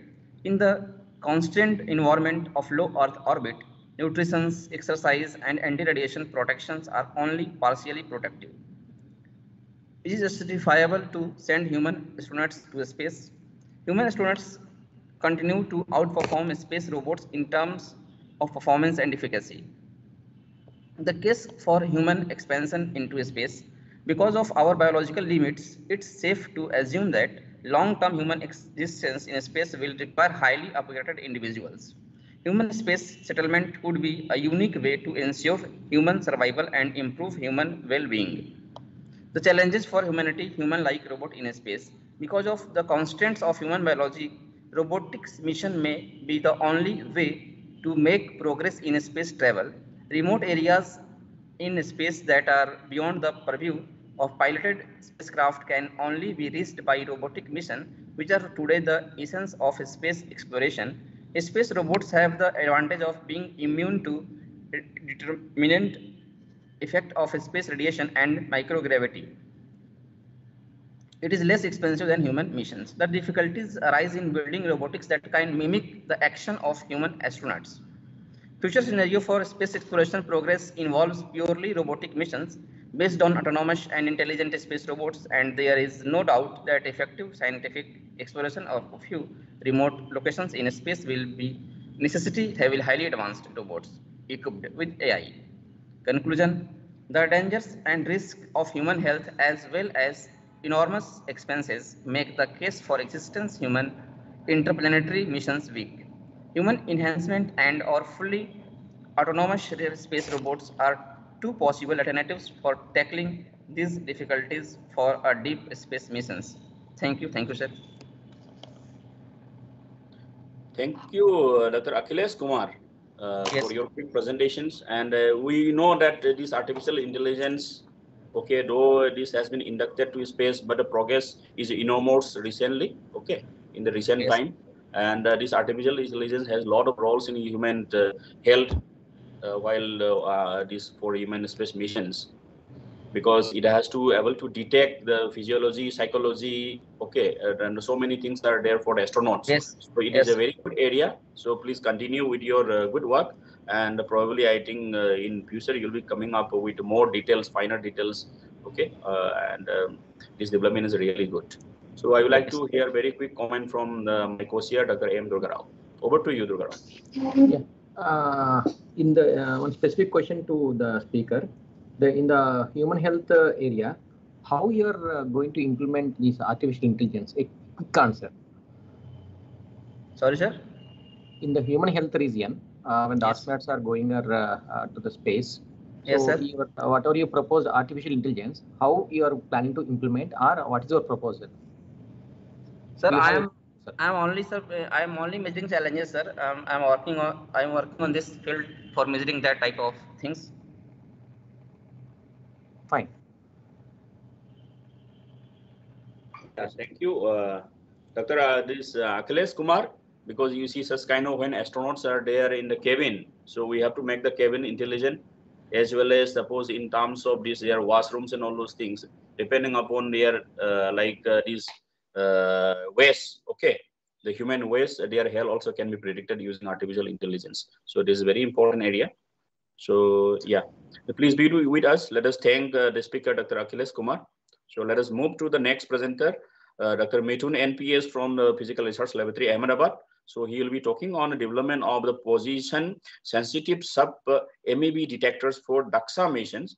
So uh, over to you, uh, Dr. Mithun. You have um, around 20 minutes of time for presentations. And uh, please go ahead. Yeah, yeah thank you. Uh, uh, are my slides visible and I'm audible? Yes, yes. Yeah, you're audible yeah. and visible. Yeah. Yeah, thank you very much. so I'll be talking about uh, development of uh, position sensitive uh, high energy detectors for the proposed mission Daksha, which is a collaborative effort from IIT Bombay, PRL, TIFR, RRI, IUCAA, and Indian Space Research Organization. So Daksha is a proposed mission to look for high energy transients with unprecedented sensitivity. So the primary goals include to look, study, uh, identify uh, electromagnetic counterparts to gravitational wave sources, as well as to detect classical GRBs, as well as to characterize and understand uh, the physics behind these uh, sources. So this is planned to be achieved by using two satellites, uh, which provides us all sky coverage uh, and it, it, will include a suite of instruments uh, covering three detectors, which will allow us to have a wide spectral range from 1 keV all the way up to 1 MeV. And uh, with its high effective area, uh, it will have very high sensitivity over all sky, uh, as uh, and it is it will be the highest sensitivity as compared to the currently operating GRB missions such as Swift or Fermi. it also it is also envisaged that we will be able to provide real-time alerts for the detections on board, so that ground-based observatories can do a quick follow-up uh, to look for afterglows and uh, other aspects uh, of these sources. To hear more about the mission and the science goals, please listen to the talk, which was delivered by Varun on the first day of the symposium, which should be available in the YouTube channel. The present configuration of uh, Daksha is something like this, uh, where we have uh, detectors arranged in a, a hemispherical form to have a wide coverage over the sky. there are three kinds of detectors. Uh, the first set of detectors uh, will cover the low energy band from 1 keV to 30 keV, where we plan to use silicon drift detectors, uh, array of silicon drift detectors, which will be built based on the heritage that we have uh, from flying similar detectors on the successfully operating uh, XSM instrument on Chandrayaan-2 and the instrument for the APXs for the Chandrayaan-3 rover. The workhorse of the Daksha mission uh, would be the medium energy range uh, array of CZT detectors uh, operating in the 20 to 200 keV energy range, which will be pixelated CZT detectors similar to what is flown on the AstroSat CZT imager. To hear more about the development of this, uh, you can uh, see the poster by Sri Harsh uh, in the same session. And to cover the high energy band from 100 keV to 1 MeV, we plan to use the baseline requirement is to have a scintillator detector, uh, which is similar to what is the Veto-like uh, Veto scintillate Veto detector, which was flown on the uh, AstroSat, uh, which is a scintillator read out by uh, silicon PMs. Now, let us see uh, what else can be done with Daksha apart from looking at the transients. So Daksha is now going to observe the all sky when it is up for about up to energies of 1 MeV over several years. So in addition to the transients that we discussed about like electromagnetic counterparts to gravitational wave sources or GRBs or other transients, there are also high energy sources which are persistent, such as pulsars, AGNs, and black hole binary systems. So uh, however, uh, in the uh, there is not much data available of these sources in the energy range from a few hundreds of keVs to a few MeVs, mainly because the previous surveys, very sensitive surveys such as the SWIFT-BAT surveys, ends at 150 keV, and that uh, at very high energies, which is about 220 MeV, is available with Fermi-LAT. So there is some uh, gap where we have some opportunity to uh, look for sources as well as to characterize their spectra in the sub-MeV range from few hundred keV to about 1 MeV. But to be able to do this, the instruments should have some imaging capability. Now, in case of Daksha configuration, this can be actually achieved by using a technique called Compton imaging. Here, what happens is that uh, X-rays coming from a source will undergo Compton scattering in one layer of the detector, and will the scattered photon will get absorbed in the uh, bottom layer of the detector. If uh, suppose we have the position information or, on the interaction in the both the detectors as well as the energy information, we can. Uh, hello, I think. Uh, no, we are able to hear you. Only thing uh, the, no, somebody has taken over the. Uh, yeah, yeah. Thank you. Yeah. Your slides, you can slide view. You can keep. Uh, uh, is it gone? Uh, actually, some it went. The control went to somebody else. I don't know what happened. Yeah. Are you able to see the screen right now? Yeah. Fine. Fine. Yeah. Yeah. yeah. Thank you. Uh, so uh, here in Compton imaging, what happens is that the uh, X-rays uh, coming from a source uh, this way. So this way, if we have if we have this information of the position as well as energy, we will be able to get restrict the in, position of the incident photon to a cone in the sky. Now, by using several such photons, we will be able to actually triangulate the position of the source. So in the Daksha-like configuration, this can actually be done by using the medium energy CZT detectors, which are already pixelated, uh, which is having a position resolution of around 2.5 millimeters uh, and the high energy detectors, uh, which is the scintillator detector. But for this to be, uh, hello? Yeah, okay. Uh, for this to be uh, possible, the high energy scintillator detector needs to be actually having position sensitivity. So for to get a few degrees of angular resolution, we require the high energy detector in the 100 to 100 keV to 1 MeV range to have a typical spatial resolution of about one centimeter. Now, uh, for this scintillator to be position sensitive, this is the concept uh, that we plan to use. Uh, so where you have a scintillator detector, which are read by uh, an array of optical photon detectors. So what happens is that when an incident photon, X-rays incident on the detector, it produces scintillation photons, and then the scintillation photons diffuse, and it will be detected over a range of uh, these optical photon detectors. So we see that the ones which are below will receive more more signal with the, as more number of optical photons will reach there. And now by fitting this distribution of this uh, optical photons as seen by the detectors, we will be able to triangulate the position of the incident photon. So this uh, principle is called Anger camera principle and has been used in uh, medical imaging and in particle physics where the optical photon detectors are used are conventional uh, photomultiplier tubes. But the conventional photomultiplier tubes are very bulky and very large. So there is a limitation to the position resolution that can be achieved with uh, such uh, uh, instruments. But uh, now with the advent of uh, the new uh, detectors, the optical detectors, single photon detectors called the silicon photomultipliers, it is possible to do this.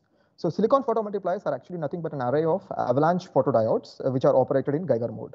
So when a photon interacts in incident on this Geiger mode APD, it acts like a photon triggered switch. It will be either on or off. But the collective output from the silicon PM, which is an array of such APDs, uh, would actually provide a quasi-analog output, which is proportional to the incident photon flux. So essentially, the total current uh, would be proportional to the uh, incident uh, optical photon flux. Now, these uh, devices are available in very small size, and we require only very low operating voltages of the order of less than 30 volts uh, to use them, even with very high gain. So this is a very ideal choice for the kind of detectors that we are interested in making. So at PRL, we have been actually working with the scintillators with silicon PM detectors from, for some time. So uh, for a Compton polarimeter that we had developed, a prototype Compton polarimeter, uh, we had actually used uh, scintillators, long scintillator detectors read out by silicon PMs as the absorber uh, in such configurations. Now the same uh, scintillator detector, if we were to actually have a readout of silicon PMs from both ends by using the ratio of signals uh, received at both ends, it would actually be possible to estimate the position in one dimensions. Now to extend this to two dimensions and to uh, demonstrate the proof of concept uh, of uh, two-dimensional position sensitive detectors using this technique, we have taken two sets of detectors, two configurations. In the first configuration, we have a cesium iodide scintillator, which is having a scintillation decay time, or which is typically longer, which is of the order of one microsecond. And the scintillator is coupled with an array SP for SIPM, which is a 4 cross 4 array of silicon photomultipliers. And the other detector configuration is where we use cerium bromide scintillator instead, which is uh, having a very fast decay time where the scintillation light is produced within a very short time of 90 nanoseconds. And it is read by an array of 6 cross 6 uh, silicon PMs, which are having, uh, which are C series silicon PMs from SensL, which are actually having an order of magnitude uh, lower dark current as compared to uh, this uh, silicon PMs used. So to read out the signal from silicon PMs, this is the block diagram of the readout system. Uh, the cathodes of the all silicon PMs are shorted together to give the bias, and it is also AC coupled to the front-end board, which constrains the charge sensitive preamplifier and a shaping amplifier. And uh, based on a comparator, a trigger is generated, and uh, this trigger is used to uh, read this signal, digitize this signal using a multi-channel analyzer to get the energy spectrum. So the cathode readout is actually used to measure the energy of the incident photon, while the anodes are independently connected to a, a Vertilon uh, silicon PM readout system, and this Vertilon system uh, uh, is used, this, this, signals from individual anodes are used to determine the position of the incident photon. So here's a photograph of the experimental setup where this is the Vertilon system where the individual anodes are going and here in this black box is the small scintillator plus uh, silicon PM. So this is a smaller size than what we actually intend to do, use for Daksha. This was a prototype development. So uh, here is the spectral performance of this uh, uh, detectors. So we have used X-ray lines from americium, cadmium, and cobalt sources to estimate the spectral response of these instruments. So the left plot shows for the cesium iodide and the right side plot shows for the cerium bromide detector. So we get a typical resolution of about 17 keV at 6 keV for uh, cesium iodide and a better resolution of about 13 keV at 60 keV uh, for uh, cerium bromide based scintillator detector. Now, to look at the spatial, uh, how the spatial performance, spatial resolution of this instrument, we shine uh, americium 60 keV pencil beam onto these detectors and then get the individual events uh, readout uh, from all SIPMs, then uh, fit a two-dimensional Gaussian to that distribution and then obtain the position. So now uh, the, on the left here, the plot shows the reconstructed positions when the beam was here. So you see that there's you are able to get most of the photons are reconstructed to this position. This is the same for a cerium bromide. Now the distribution of these reconstructed positions is shown uh, as a plot here and it is fitted to obtain the spatial resolution which is about 3 millimeter in this case and uh, 2.5 millimeter in this case. And uh, to compare with the pixel pitch which is the size of the silicon PMs which we have used, uh, this is here. In both cases it can be seen that we actually have a, uh, we are able to achieve uh, resolution, spatial resolutions better than the pixel pitch. But one thing to note is that in cesium iodide we see that there is some kind of artifacts present in the reconstructed position, which is rather not present in the case of cerium bromide. So we are able to demonstrate sub-pixel spatial resolution with this uh, uh, detector concept. So just to see how uh, we are able to image So here is a, uh, we have actually kept a T-shaped collimator, a lead collimator in front of the detector and shined it with X-rays. And here are the images by keeping the collimator at uh, X-ray images from the detector uh, by keep, keeping the collimator at uh, different orientations. Now to understand uh, the why we are seeing the systematics in the iodide uh, crystal, we actually carried out Monte Carlo simulations uh, and then uh, try to do simulations with different signal to noise ratios for the silicon PM signals. So the signal in this silicon PMs would be the optical photons reaching the silicon PM and the noise will be the dark current of the silicon PM. So we see that as you go to lower and lower silicon uh, so signal to noise ratio, so even at 3.5, we start seeing that uh, we are we are seeing some kind of artifacts in the reconstructed positions. So we need to have a signal to noise ratio better than uh, maybe around five so that we are able to get a reasonably uh, artifact-free reconstruction in the positions. So the lessons we learned from this exercise are that fast scintillators are better because we actually have to integrate silicon PM dark rate only for a short duration, which provides us better silicon SNR. Also, silicon PMs with low dark counts are better, and we need to have a readout systems which are faster so that we integrate even for shorter times, which also provides better SNR. And we have already seen that with low signal to noise ratio, we will be having artifacts in the reconstructed position. The other part, which we did not discuss in detail, is that when we go to the near the edges of the crystal, uh, there is complications arising from the reflection from the other sides. So we need to have a different position reconstruction strategy uh, when you are closer to the edges of the uh, edges of the crystal. So based on these lessons, now we move on to design detector for the Daksha mission. For Daksha, the scintillator requirement is that it has to have an area or the size of about 20 centimeter by 20 centimeter so that it matches the overall size of the silicon CZT detector, the medium energy CZT detector array. Now to get an energy range uh, up to 1 MeV with appreciable efficiency, we need to have the crystal to have a thickness of about uh, 2 centimeters. But so, and we have already seen that the fast scintillators such as cerium bromide would be the appropriate choice but unfortunately, these crystals are not available for such large dimensions. So instead, we have chosen sodium iodide scintillator as a uh, detector for this, which has having a, faster decay time, uh, as much faster decay time as compared to uh, cesium iodide, which is at one microsecond, which is this is having 25 to 50 nanoseconds. for the silicon PMs, we plan to use the onsemi sensor uh, micro C series silicon PMs, and for the readout, we plan to use a application-specific integrated circuit, which allows us to have from CITIROC, uh, which is which allows us to have a simultaneous readout of uh, multiple uh, systems, multiple SIPMs together at very fast rates. So here is the mechanical configuration of the detector.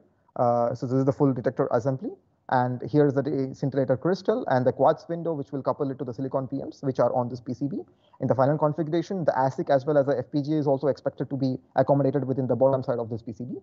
Uh, right now, we are only considering the silicon PMs here. And this is entire thing is enclosed within an aluminum enclosure so that uh, it remains light tight because silicon PMs are sensitive to optical photons. Uh, now, uh, the overall block diagram of the detector readout is what is shown here. So as we mentioned, we plan to use the CITIROC ASICs so the uh, cathodes of them will be uh, AC coupled to a, a discrete preamplifier and shaping amplifier chain, uh, which will be having a separate peak detector and ADC for the energy measurement of the events. While the anodes, individual chains will be connected to two CITIROC ASICs, which are having 32 channels each. And the ASIC includes the shaping amplifier uh, as well as a peak holder and a mux buffer output. So now when we receive the trigger from the cathode, as well as from the anodes, the FPGA will control the ASIC to take out uh, uh, serially digitize uh, each uh, one of the each of these channels using an external ADC to get uh, the signal uh, from each of these 64 anode chains. Now, here is a photograph of the actual fabricated detector scintillator assembly. So this is the entrance window where a, where a, which is a thin aluminum window, which is sufficient because as we are low energy requirement is only up, uh, up 100 kV. This is the bottom side where we have a quartz uh, crystal, which will be coupled to the uh, silicon PMs. Now, uh, the idea is to eventually use a CITIROC ASIC uh, with an independent FPGA readout system. But as a prototyping device, we plan to use uh, this evaluation board of the CITIROC ASIC, which is A1027 readout board, which uses a CITIROC ASIC, uh, which has its own FPGA and a microcontroller. Uh, so this allows us to uh, control, set, set, do different settings of the ASIC through a, software, and also to read out the data from individual the individual SIPM channels, either using an internal trigger or with an external trigger, such as from the common cathode, as we require in our application. So this uh, then the data can be so uh, for each event the data can be saved as a root objects, root tree objects uh, on the computer, which can be used then for further analysis uh, to do the position reconstruction and to evaluate the spatial performance of the instrument, uh, spatial performance of the detector.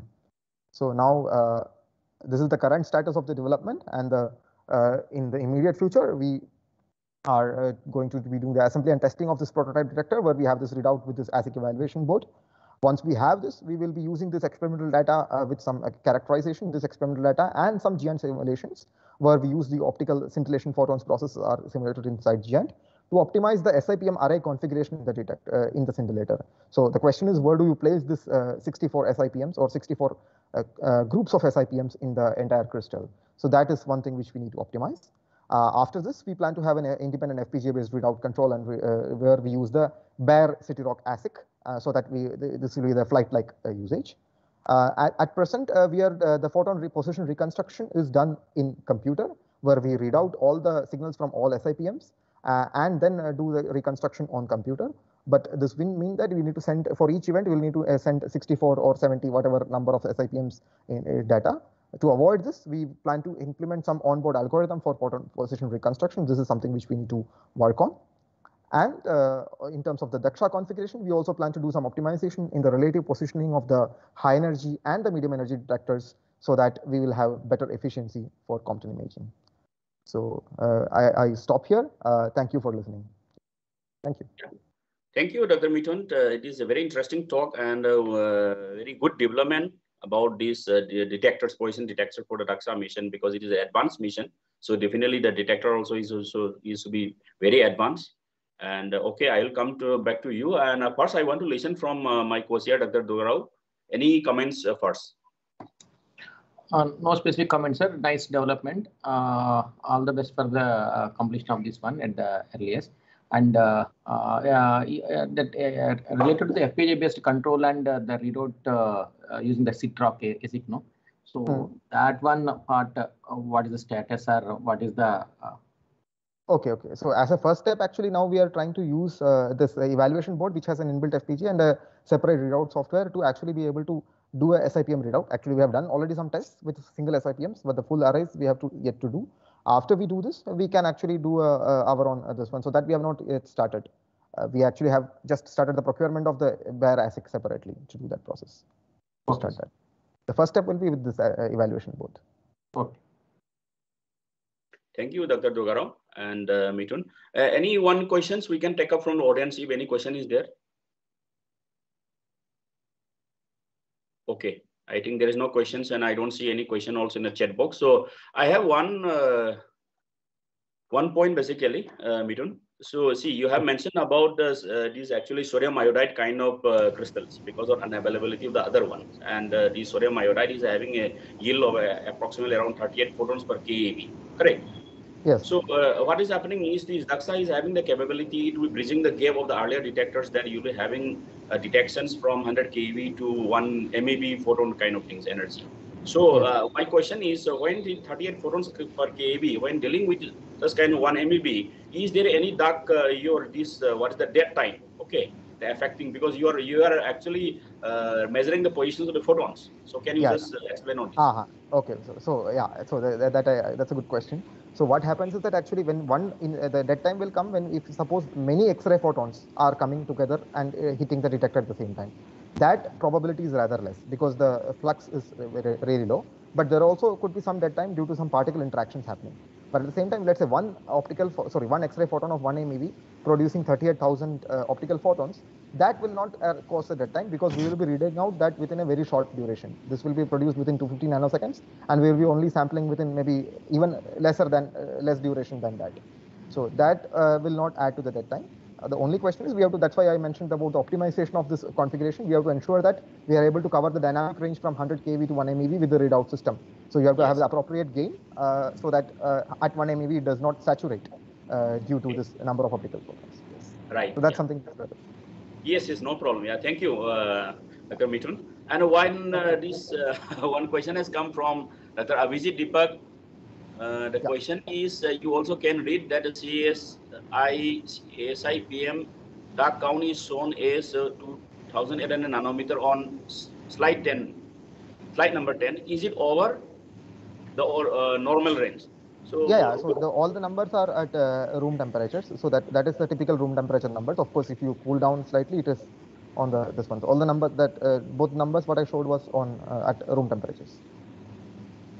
Okay, no problem. Yeah, thank you, thank you, Dr. Mithun. These are very nice presentations, and uh, please Thank you be with us. We have two more presentations. Okay, so then we'll move to the next presenter. Uh, next presentation is on optical designs of the infrared spectroscopic imaging survey, IRSIS satellite payload, and it is from the Dr. Satheesha Poojary from TIFR. Over to you. Yes, uh, am I audible to you?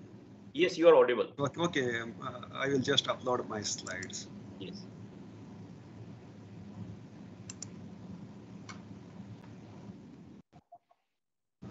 You can see my screen now? Yes, yes. Yeah, okay, oh, oh, okay, okay, okay, thank you, sir. Thank you. Yeah, yeah I am Satheesha S. Poojary from uh, Infrared Astronomy Group of TIFR Mumbai. Uh, I am here presenting the uh, our ongoing development work of small satellite payload. I am specially describing the optical design part of this uh, small satellite payload. First, briefly, I'll tell you what is the activity of our group, uh, Mumbai TIFR group. We are already active in balloon-based far infrared astronomy as well as the ground-based near infrared astronomy. From the balloon-based astronomy, we are already doing the spectroscopy at far infrared wavelength of 158 micron wavelength. And from the ground-based astronomy, we are already doing spectroscopy as well as imaging from the ground-based telescopes. And now we are already in the development program of the small satellite payload also. So I am uh, describing the uh, our development work of this uh, satellite payload today. Uh, aim of this uh, pay- payload is to do the spectroscopic survey at uh, near infrared and mid infrared wavelength range. Using this is a small satellite, so the shortlisted telescope is 30 centimeter in diameter, and its field of view is 15 arc minute by 15 arc minute, and its angular resolution is 18 arc second. This will do the spectroscopic survey at two two bands. One is band is at 1.7 to 3.4 micron. Other is the long wave band is 3.2 to 6.4 micron. The spectral resolution of this instrument is will be nearly 100, and this will have a fiber-based fiber integral field unit. And the integral field units that will divide the two-dimensional uh, sky image into the one-dimensional slit unit, and the and the and the number of fibers used in this uh, integral field unit is around uh, 1000 fibers. And the detector used in this uh, uh, this mission is 1024 into 1024 mercury cadmium telluride that will operate at 80 kelvin.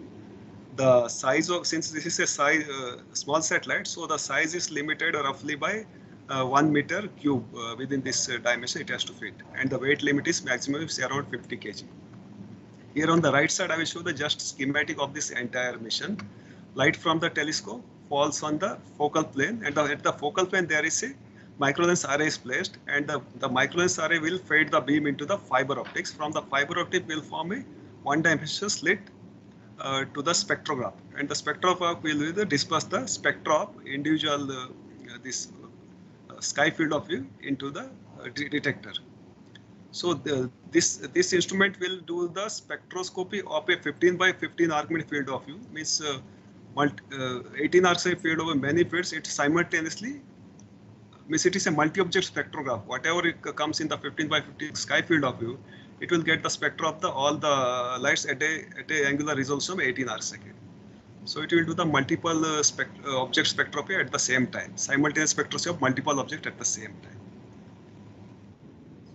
So why this mission is there? This is simple. Uh, the name of the mission is IRSIS. It is the Infrared Spectroscopy Imaging Survey. In short, we'll call it IRSIS. So why we are using this IRSIS? So actually, this will cover the spectroscopic bag, which is left by the Hubble Space Telescope and the Spitzer. Means this is the, these two instruments not covered these two wavelength range. So this IRSIS will cover the spectroscopic survey at this wavelength and uh, no survey type of is already exist at this wavelength. So this will cover the more than the 50% of the full sky within the two years of time and including the galactic plane. And the first time we are flying the fiber-based integral filter into uh, this uh, this uh, satellite payload. So actually we are we already de- demonstrated the laboratory model of this one. So this is the schematic uh, view of this payload. uh, means block diagram of this payload. So this is will have the 30 centimeter telescope. Its F number is F by 12, and at the focal plane it is having the integral field unit that converts the two-dimensional image whatever form on the focal plane into the one-dimensional slit unit. That slit is goes into the standard spectrograph, and the, on the detector it, is having the detector unit where we'll get the dispersal factor from the uh, from the spectrograph. So, so we already demonstrated only laboratory model. Further, next we have to go to the flight model and engineering model. The limitations of the laboratory model is the simplified version of the final model. So the limitations of the laboratory model is only it is covering the 1.7 to 2.5 micron because we want to save the cost. So, it, so the detector whatever we had is sensitive up to 2.5 micron only. That is the mercury cadmium telluride detector. And the number of fibers we used 45 only to demonstrate in the single slit. Instead of 1000 fibers, we selected the 45 fibers only. And it is uh, using the grating also off the shelf grating. Further, I am uh, going by one by one to this uh, subsystem of this payload. So first I'll go to the telescope part. So we designed the telescope. This is the Zemax model of the 30 centimeter telescope. This is the primary mirror, second mirror. Both are Ritchey-Chrétien uh, type of telescope. Both are hyperboloid mirrors and here is the folding mirror. Then it passes through this telecentric lens and the image, image lens formed here. So these are the details of the telescope and these are the SolidWorks model of the telescope. And this is the actual fabricated model, primary mirror, secondary mirror, and uh, this is having the backside folding mirror. Then it goes into the two selectric lenses. It uh, image forms here. So this is uh, already done. This is we used for the laboratory model and uh, this is the way chosen for the all aluminum telescope. So means all aluminum telescope that is having a uh, property that uh, it is not sensitive to the temperature. Means in the space environment we can't predict the exact temperature. If there is some plus minus uh, temperature, then also it will maintain the image quality. That is the uh, advantage of the all aluminum telescopes. Mirrors and structure all are made of the same materials. We used the aluminum 6061 T6 material for this telescope. Uh, our uh, targeted operating temperature for the telescope is 100 Kelvin.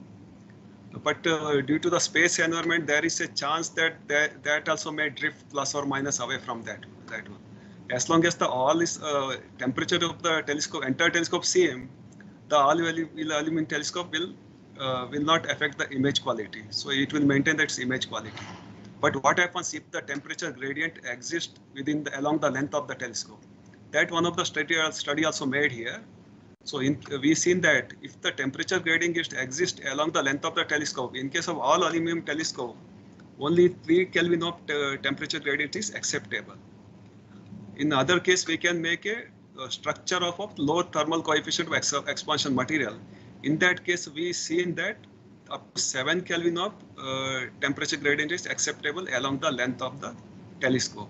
Because uh, we, we think that the this uh, for the satellite, there is a background radiation from the Earth also affect the uh, incident on this uh, along the length. May, maybe the secondary part is maybe at a higher temperature and uh, this uh, primary part maybe at a lower temperature. Uh, based on that, we have studied these possibilities. So these are the spots you can see. This is the actually spot on the image plane. Means bigger the spots means it is the degraded the image quality. And this in that image plane you can see that black circle, that is the theoretical limit of the image quality. So in case of all aluminum telescope, we can say accept, uh, about 3 Kelvin of uh, gradient is acceptable along the length. But in case of low TC materials, the gradient is acceptable up to 7 Kelvin. But uh, in case of uh, uh, this low TC material telescope, but it is uh, fixed to that reference temperature. From that reference temperature, 7 Kelvin is variable. But in terms of all aluminum telescopes, even it drifts to, from the reference away from also, then also there is up to 3K gradient is acceptable to uh, this telescope. So this is the study performed. This is the result of their study. But uh, we've seen that most of the uh, satellite missions having the telescope of this size, mostly they used the all aluminum telescopes. So finally, we have to finalize which one is better based on the other radiation uh, shielding, etc. We have to study that.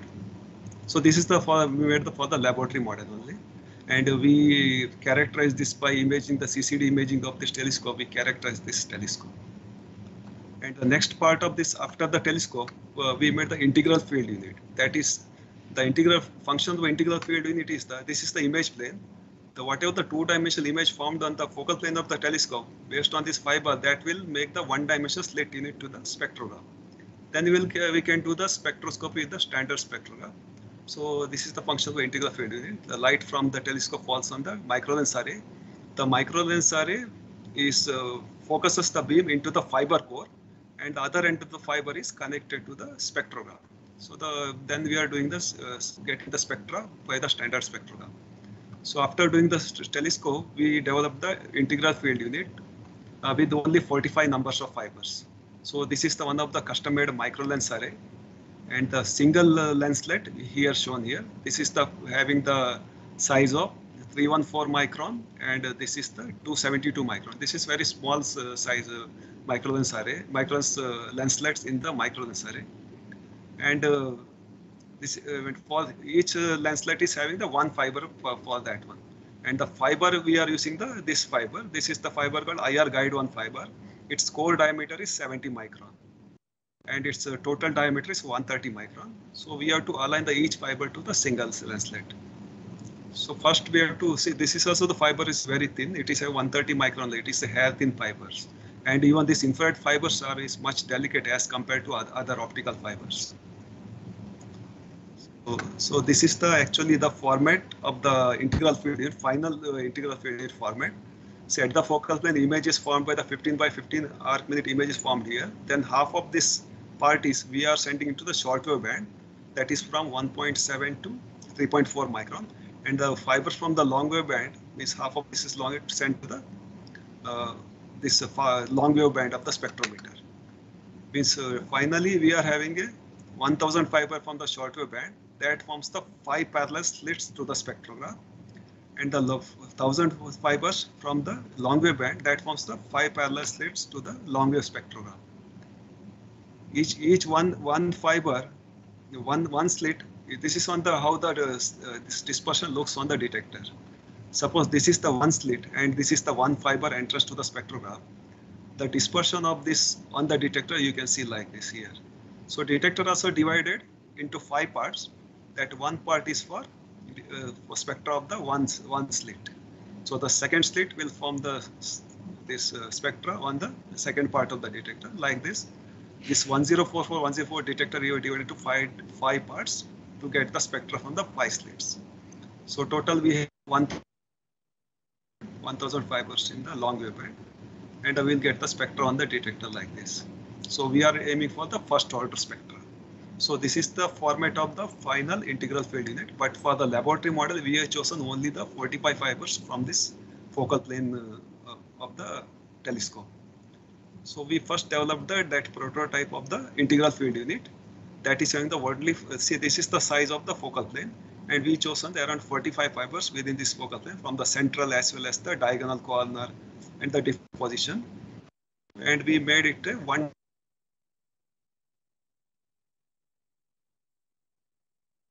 the one dimensional slit, what are the 45 fiber from the one dimensional slit here.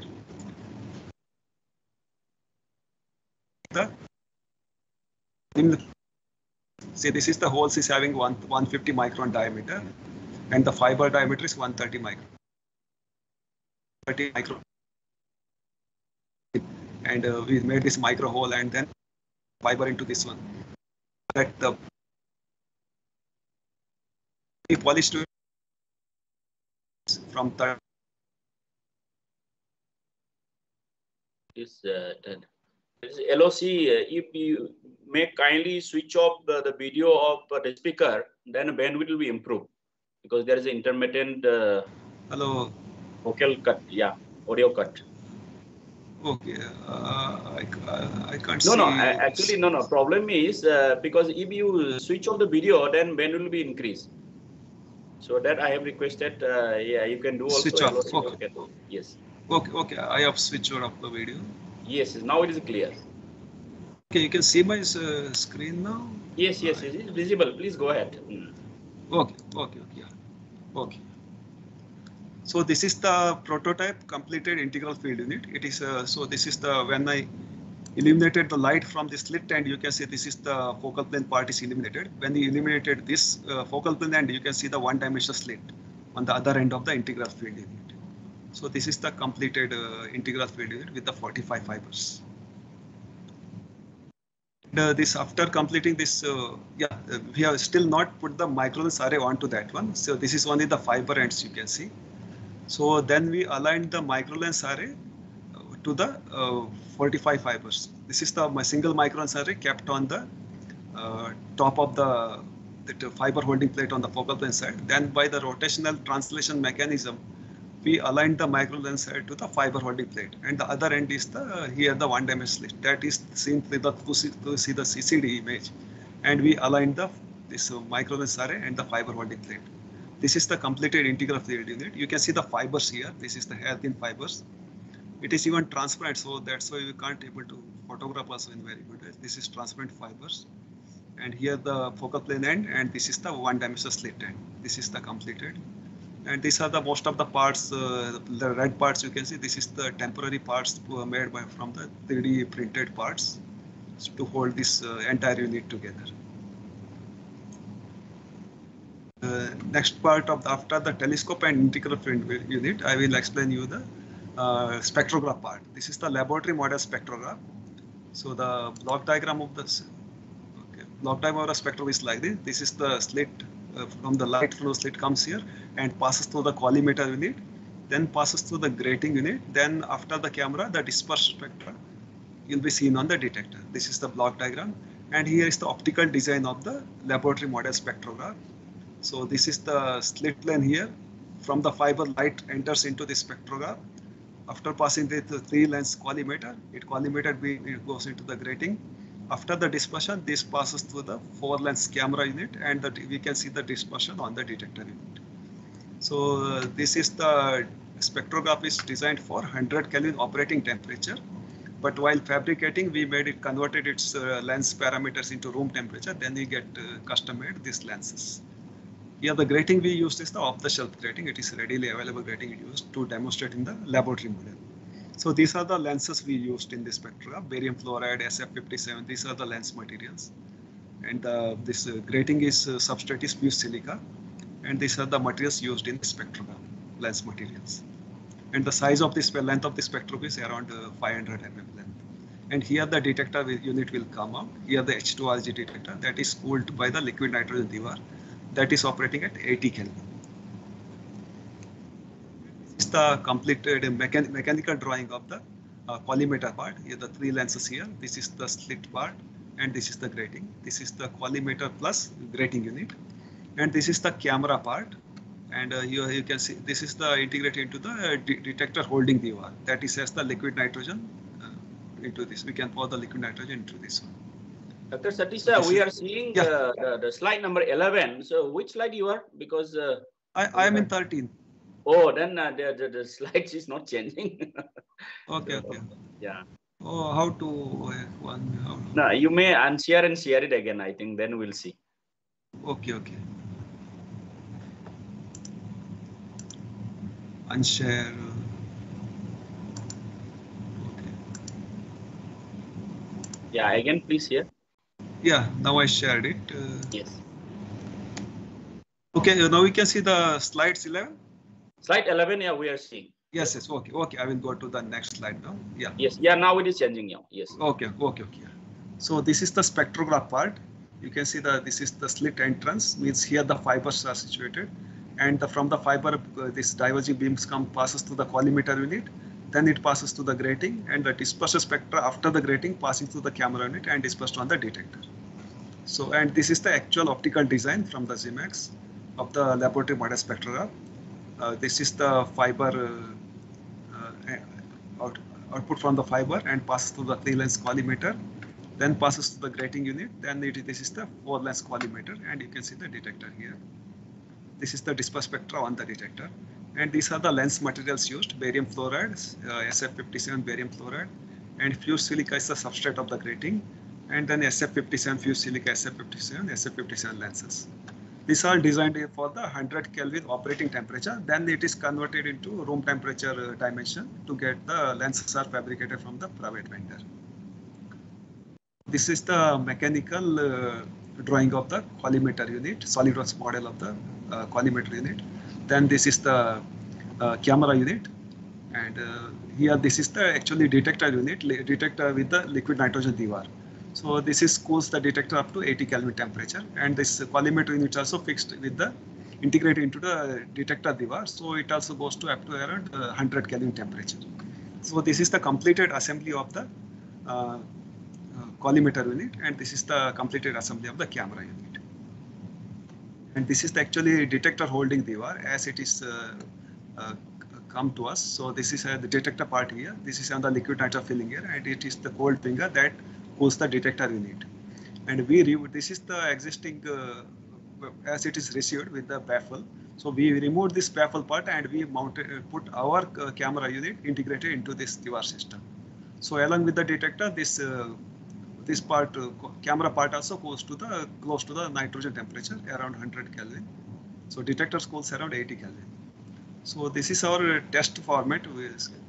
See, actually, finally, we need to test this entire spectrum at 100 Kelvin. But for simplifying this, we only integrated this camera part into the detector system that goes to 100 Kelvin. But this other part is at, uh, kept at the room temperature only but still the, the, that's the because of this room temperature there is some change in the parameters than this lens system so accordingly we adjusted the focal plane for this uh, collimator unit and we tested this uh, spectrograph with the uh, camera unit at 100 kelvin and this part is at 2, 293 kelvin room temperature so this is the actual test setup of the spectrograph so this is the collimator and camera part and here is the integral field unit and this is the actual uh, entrance to the integral field unit. Here, instead of putting the beam from the telescope, we put the simulated the beam f by 12 beam using the lenses f by 12 beam falling on the entrance of the integral field unit. Then after the microluminescent fiber, it passes to the forms the ent slit entrance to the collimator unit. Then we will get the passing through the after the camera unit, we will get the spectrum on the detector. Actually, this is the detector part, which is the nitrogen dewar. We can follow the liquid nitrogen from here. So we tested in this way using the source we used as the black body radiation source that we put and in front of that one we put a K filter so it allows only particular band that passing uh, to the uh, the spectrogram. So we tested the spectrograph in this way. So this is the outcome of the result of the spectrum on the detector unit. So this is the two more minutes. Yes. Okay, yeah, okay. So this is the spectrum we received on the uh, detector unit this is the zeroth order, first order, second order. And actually we are interested only in the first order. This is the dispersion. From each fiber you can see the dispersion zeroth order, first order, second order like this. Because this is the, not off-the-shelf grating. Our interest is only the first order, but because of this is the off-the-shelf grating, that's why we are getting the uh, light in the other orders. So this is the this cross section cut along the dispersion. So here you can see the energy distribution on the uh, from this one. And this is actually a Zemax model. See how the spectra we will get on the detector. So this is exactly matching with the whatever we observed actually in the experiment. You can see the first order, zeroth order, uh, second order, and the third order. So this is the actual whatever we observed on the detector, and this is the Zemax model. Our targeted resolution is 100, but uh, we got the resolution up to 71 because we are not testing the condition exactly what it is designed for. We are designed for 100K because, uh, but we are uh, testing the part of it is at uh, 293 Kelvin. That may be the reason. And the grating also is not the uh, custom made, it is the off the shelf grating.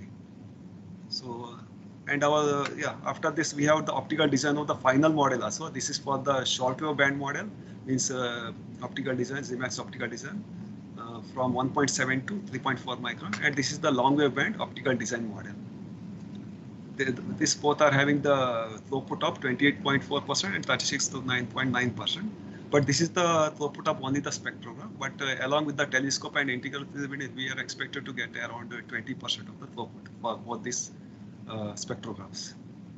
And uh, whatever we achieved is telescope is designed and fabricated and uh, fiber optic based integral field is demonstrated with few fibers.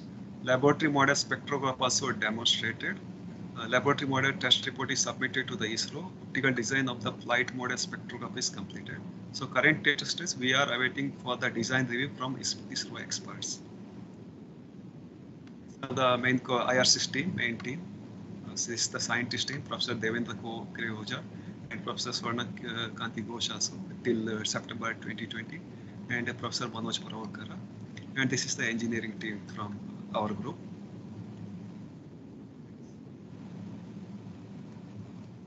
Uh, thank you, Dr. Satheesha. Yeah. For this beautiful uh, presentation as well as the very good uh, development. Basically, I can see that this is like a sub uh, James Webb uh, telescope.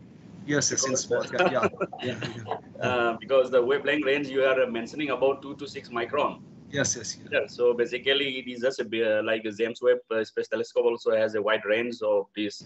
And being an infrared uh, this telescope, we understand that your thermal management is very critical.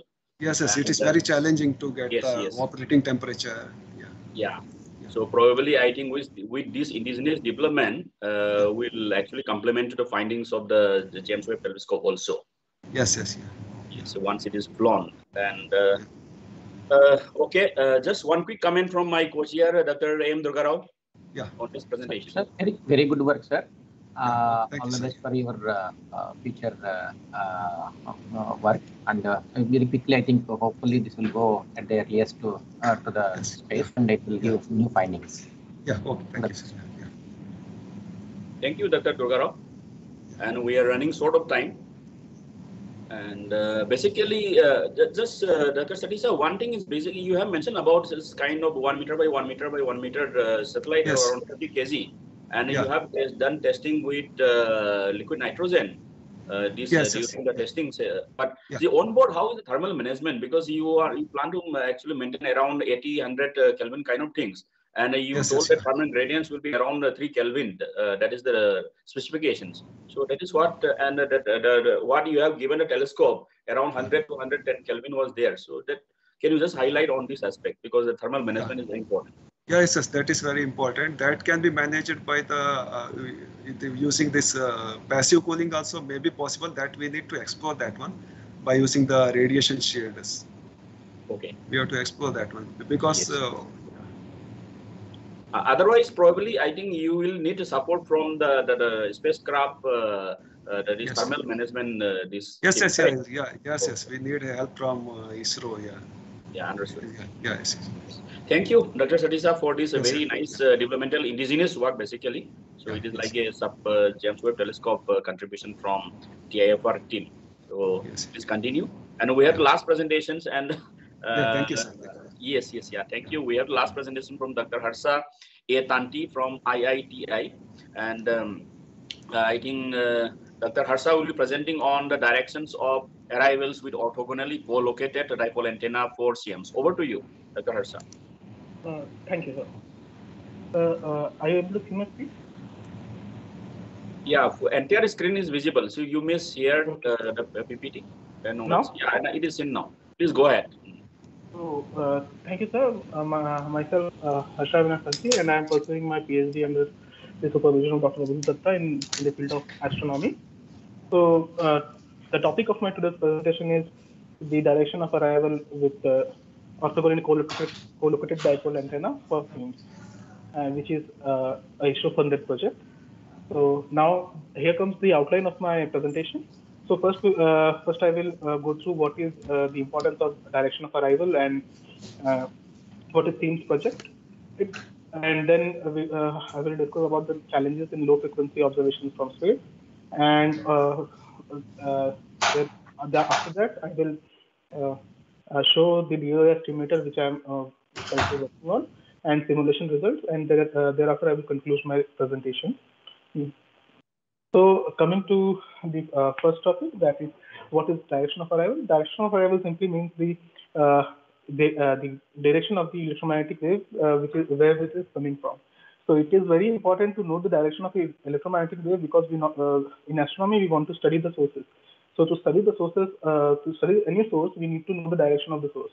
So in this context, we need to find the direction of uh, the uh, electromagnetic wave. so this can be done by two methods. Uh, we, the first one being the triangulation method, where we use multiple telescopes uh, to find the direction of the source, and another is using goniopolarimetric technique. Uh, now, uh, the uh, goniopolarimetric technique is a uh, instrument-based technique where where you have a few antennas and you play around with electromagnetic equations to solve for the, the direction of electromagnetic waves.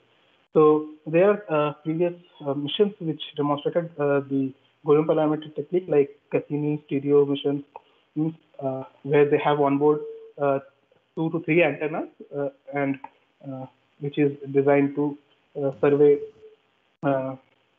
survey magnetosphere and so, do solar observations.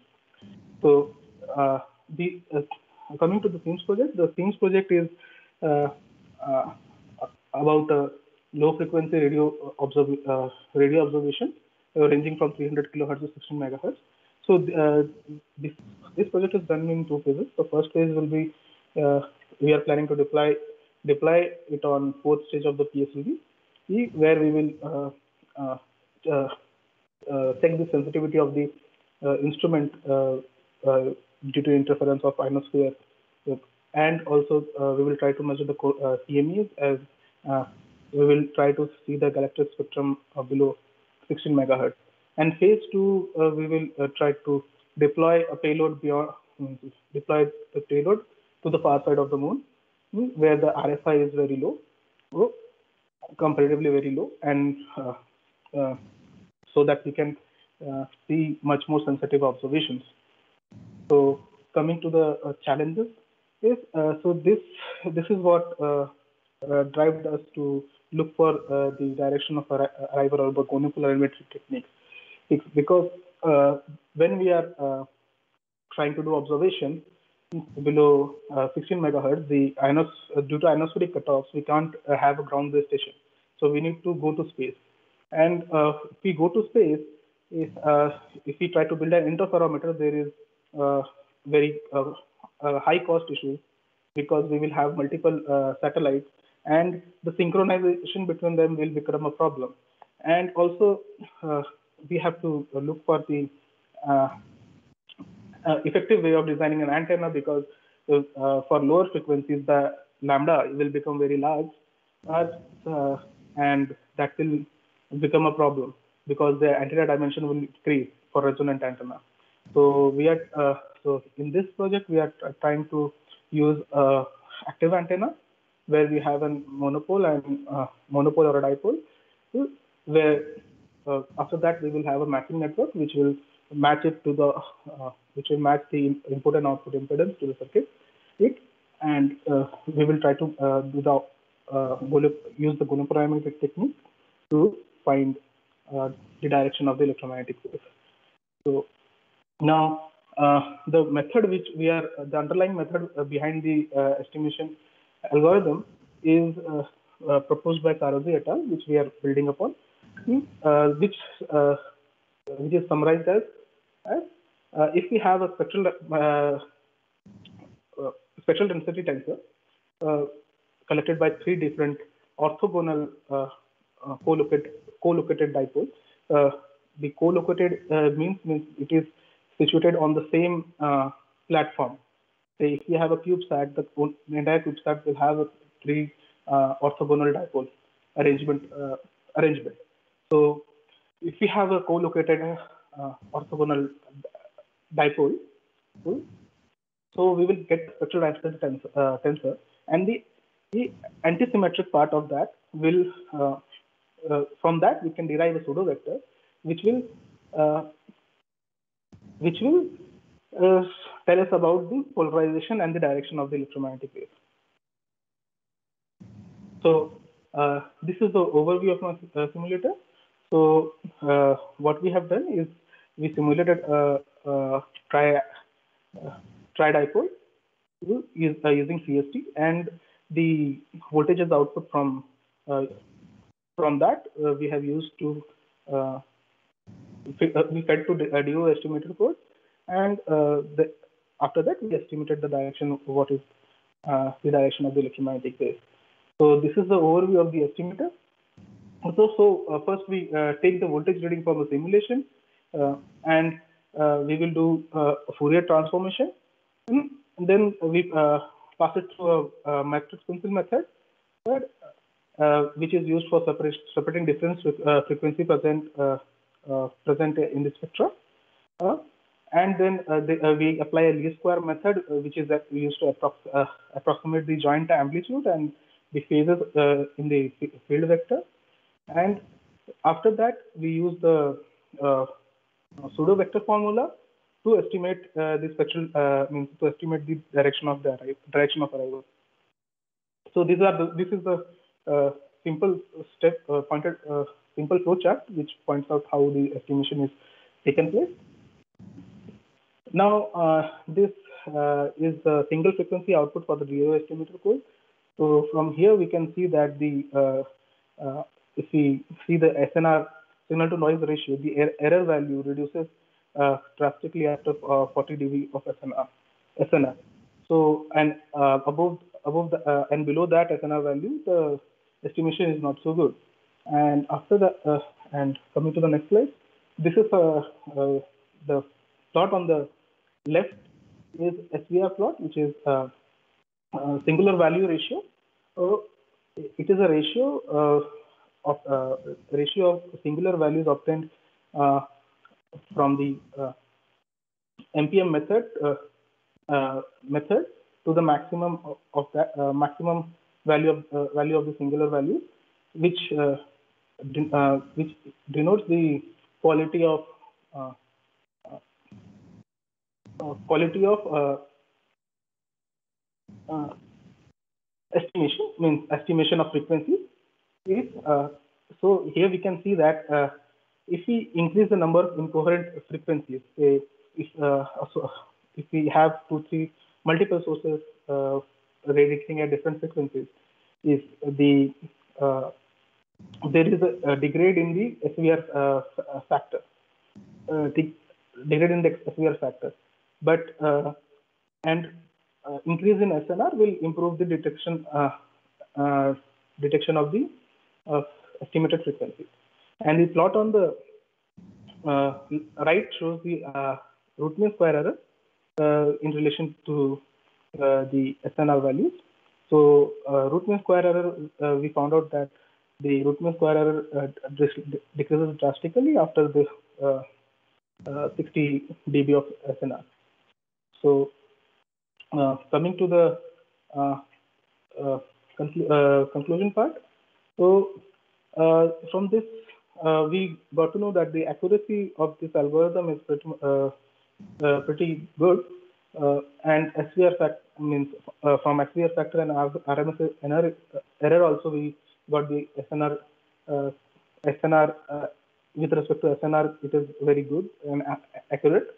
But we, we also no, noted that the accuracy decreases drastically when uh, the number of incoherent sources increases, as well as uh, uh, uh as well as uh, when you uh, account for certain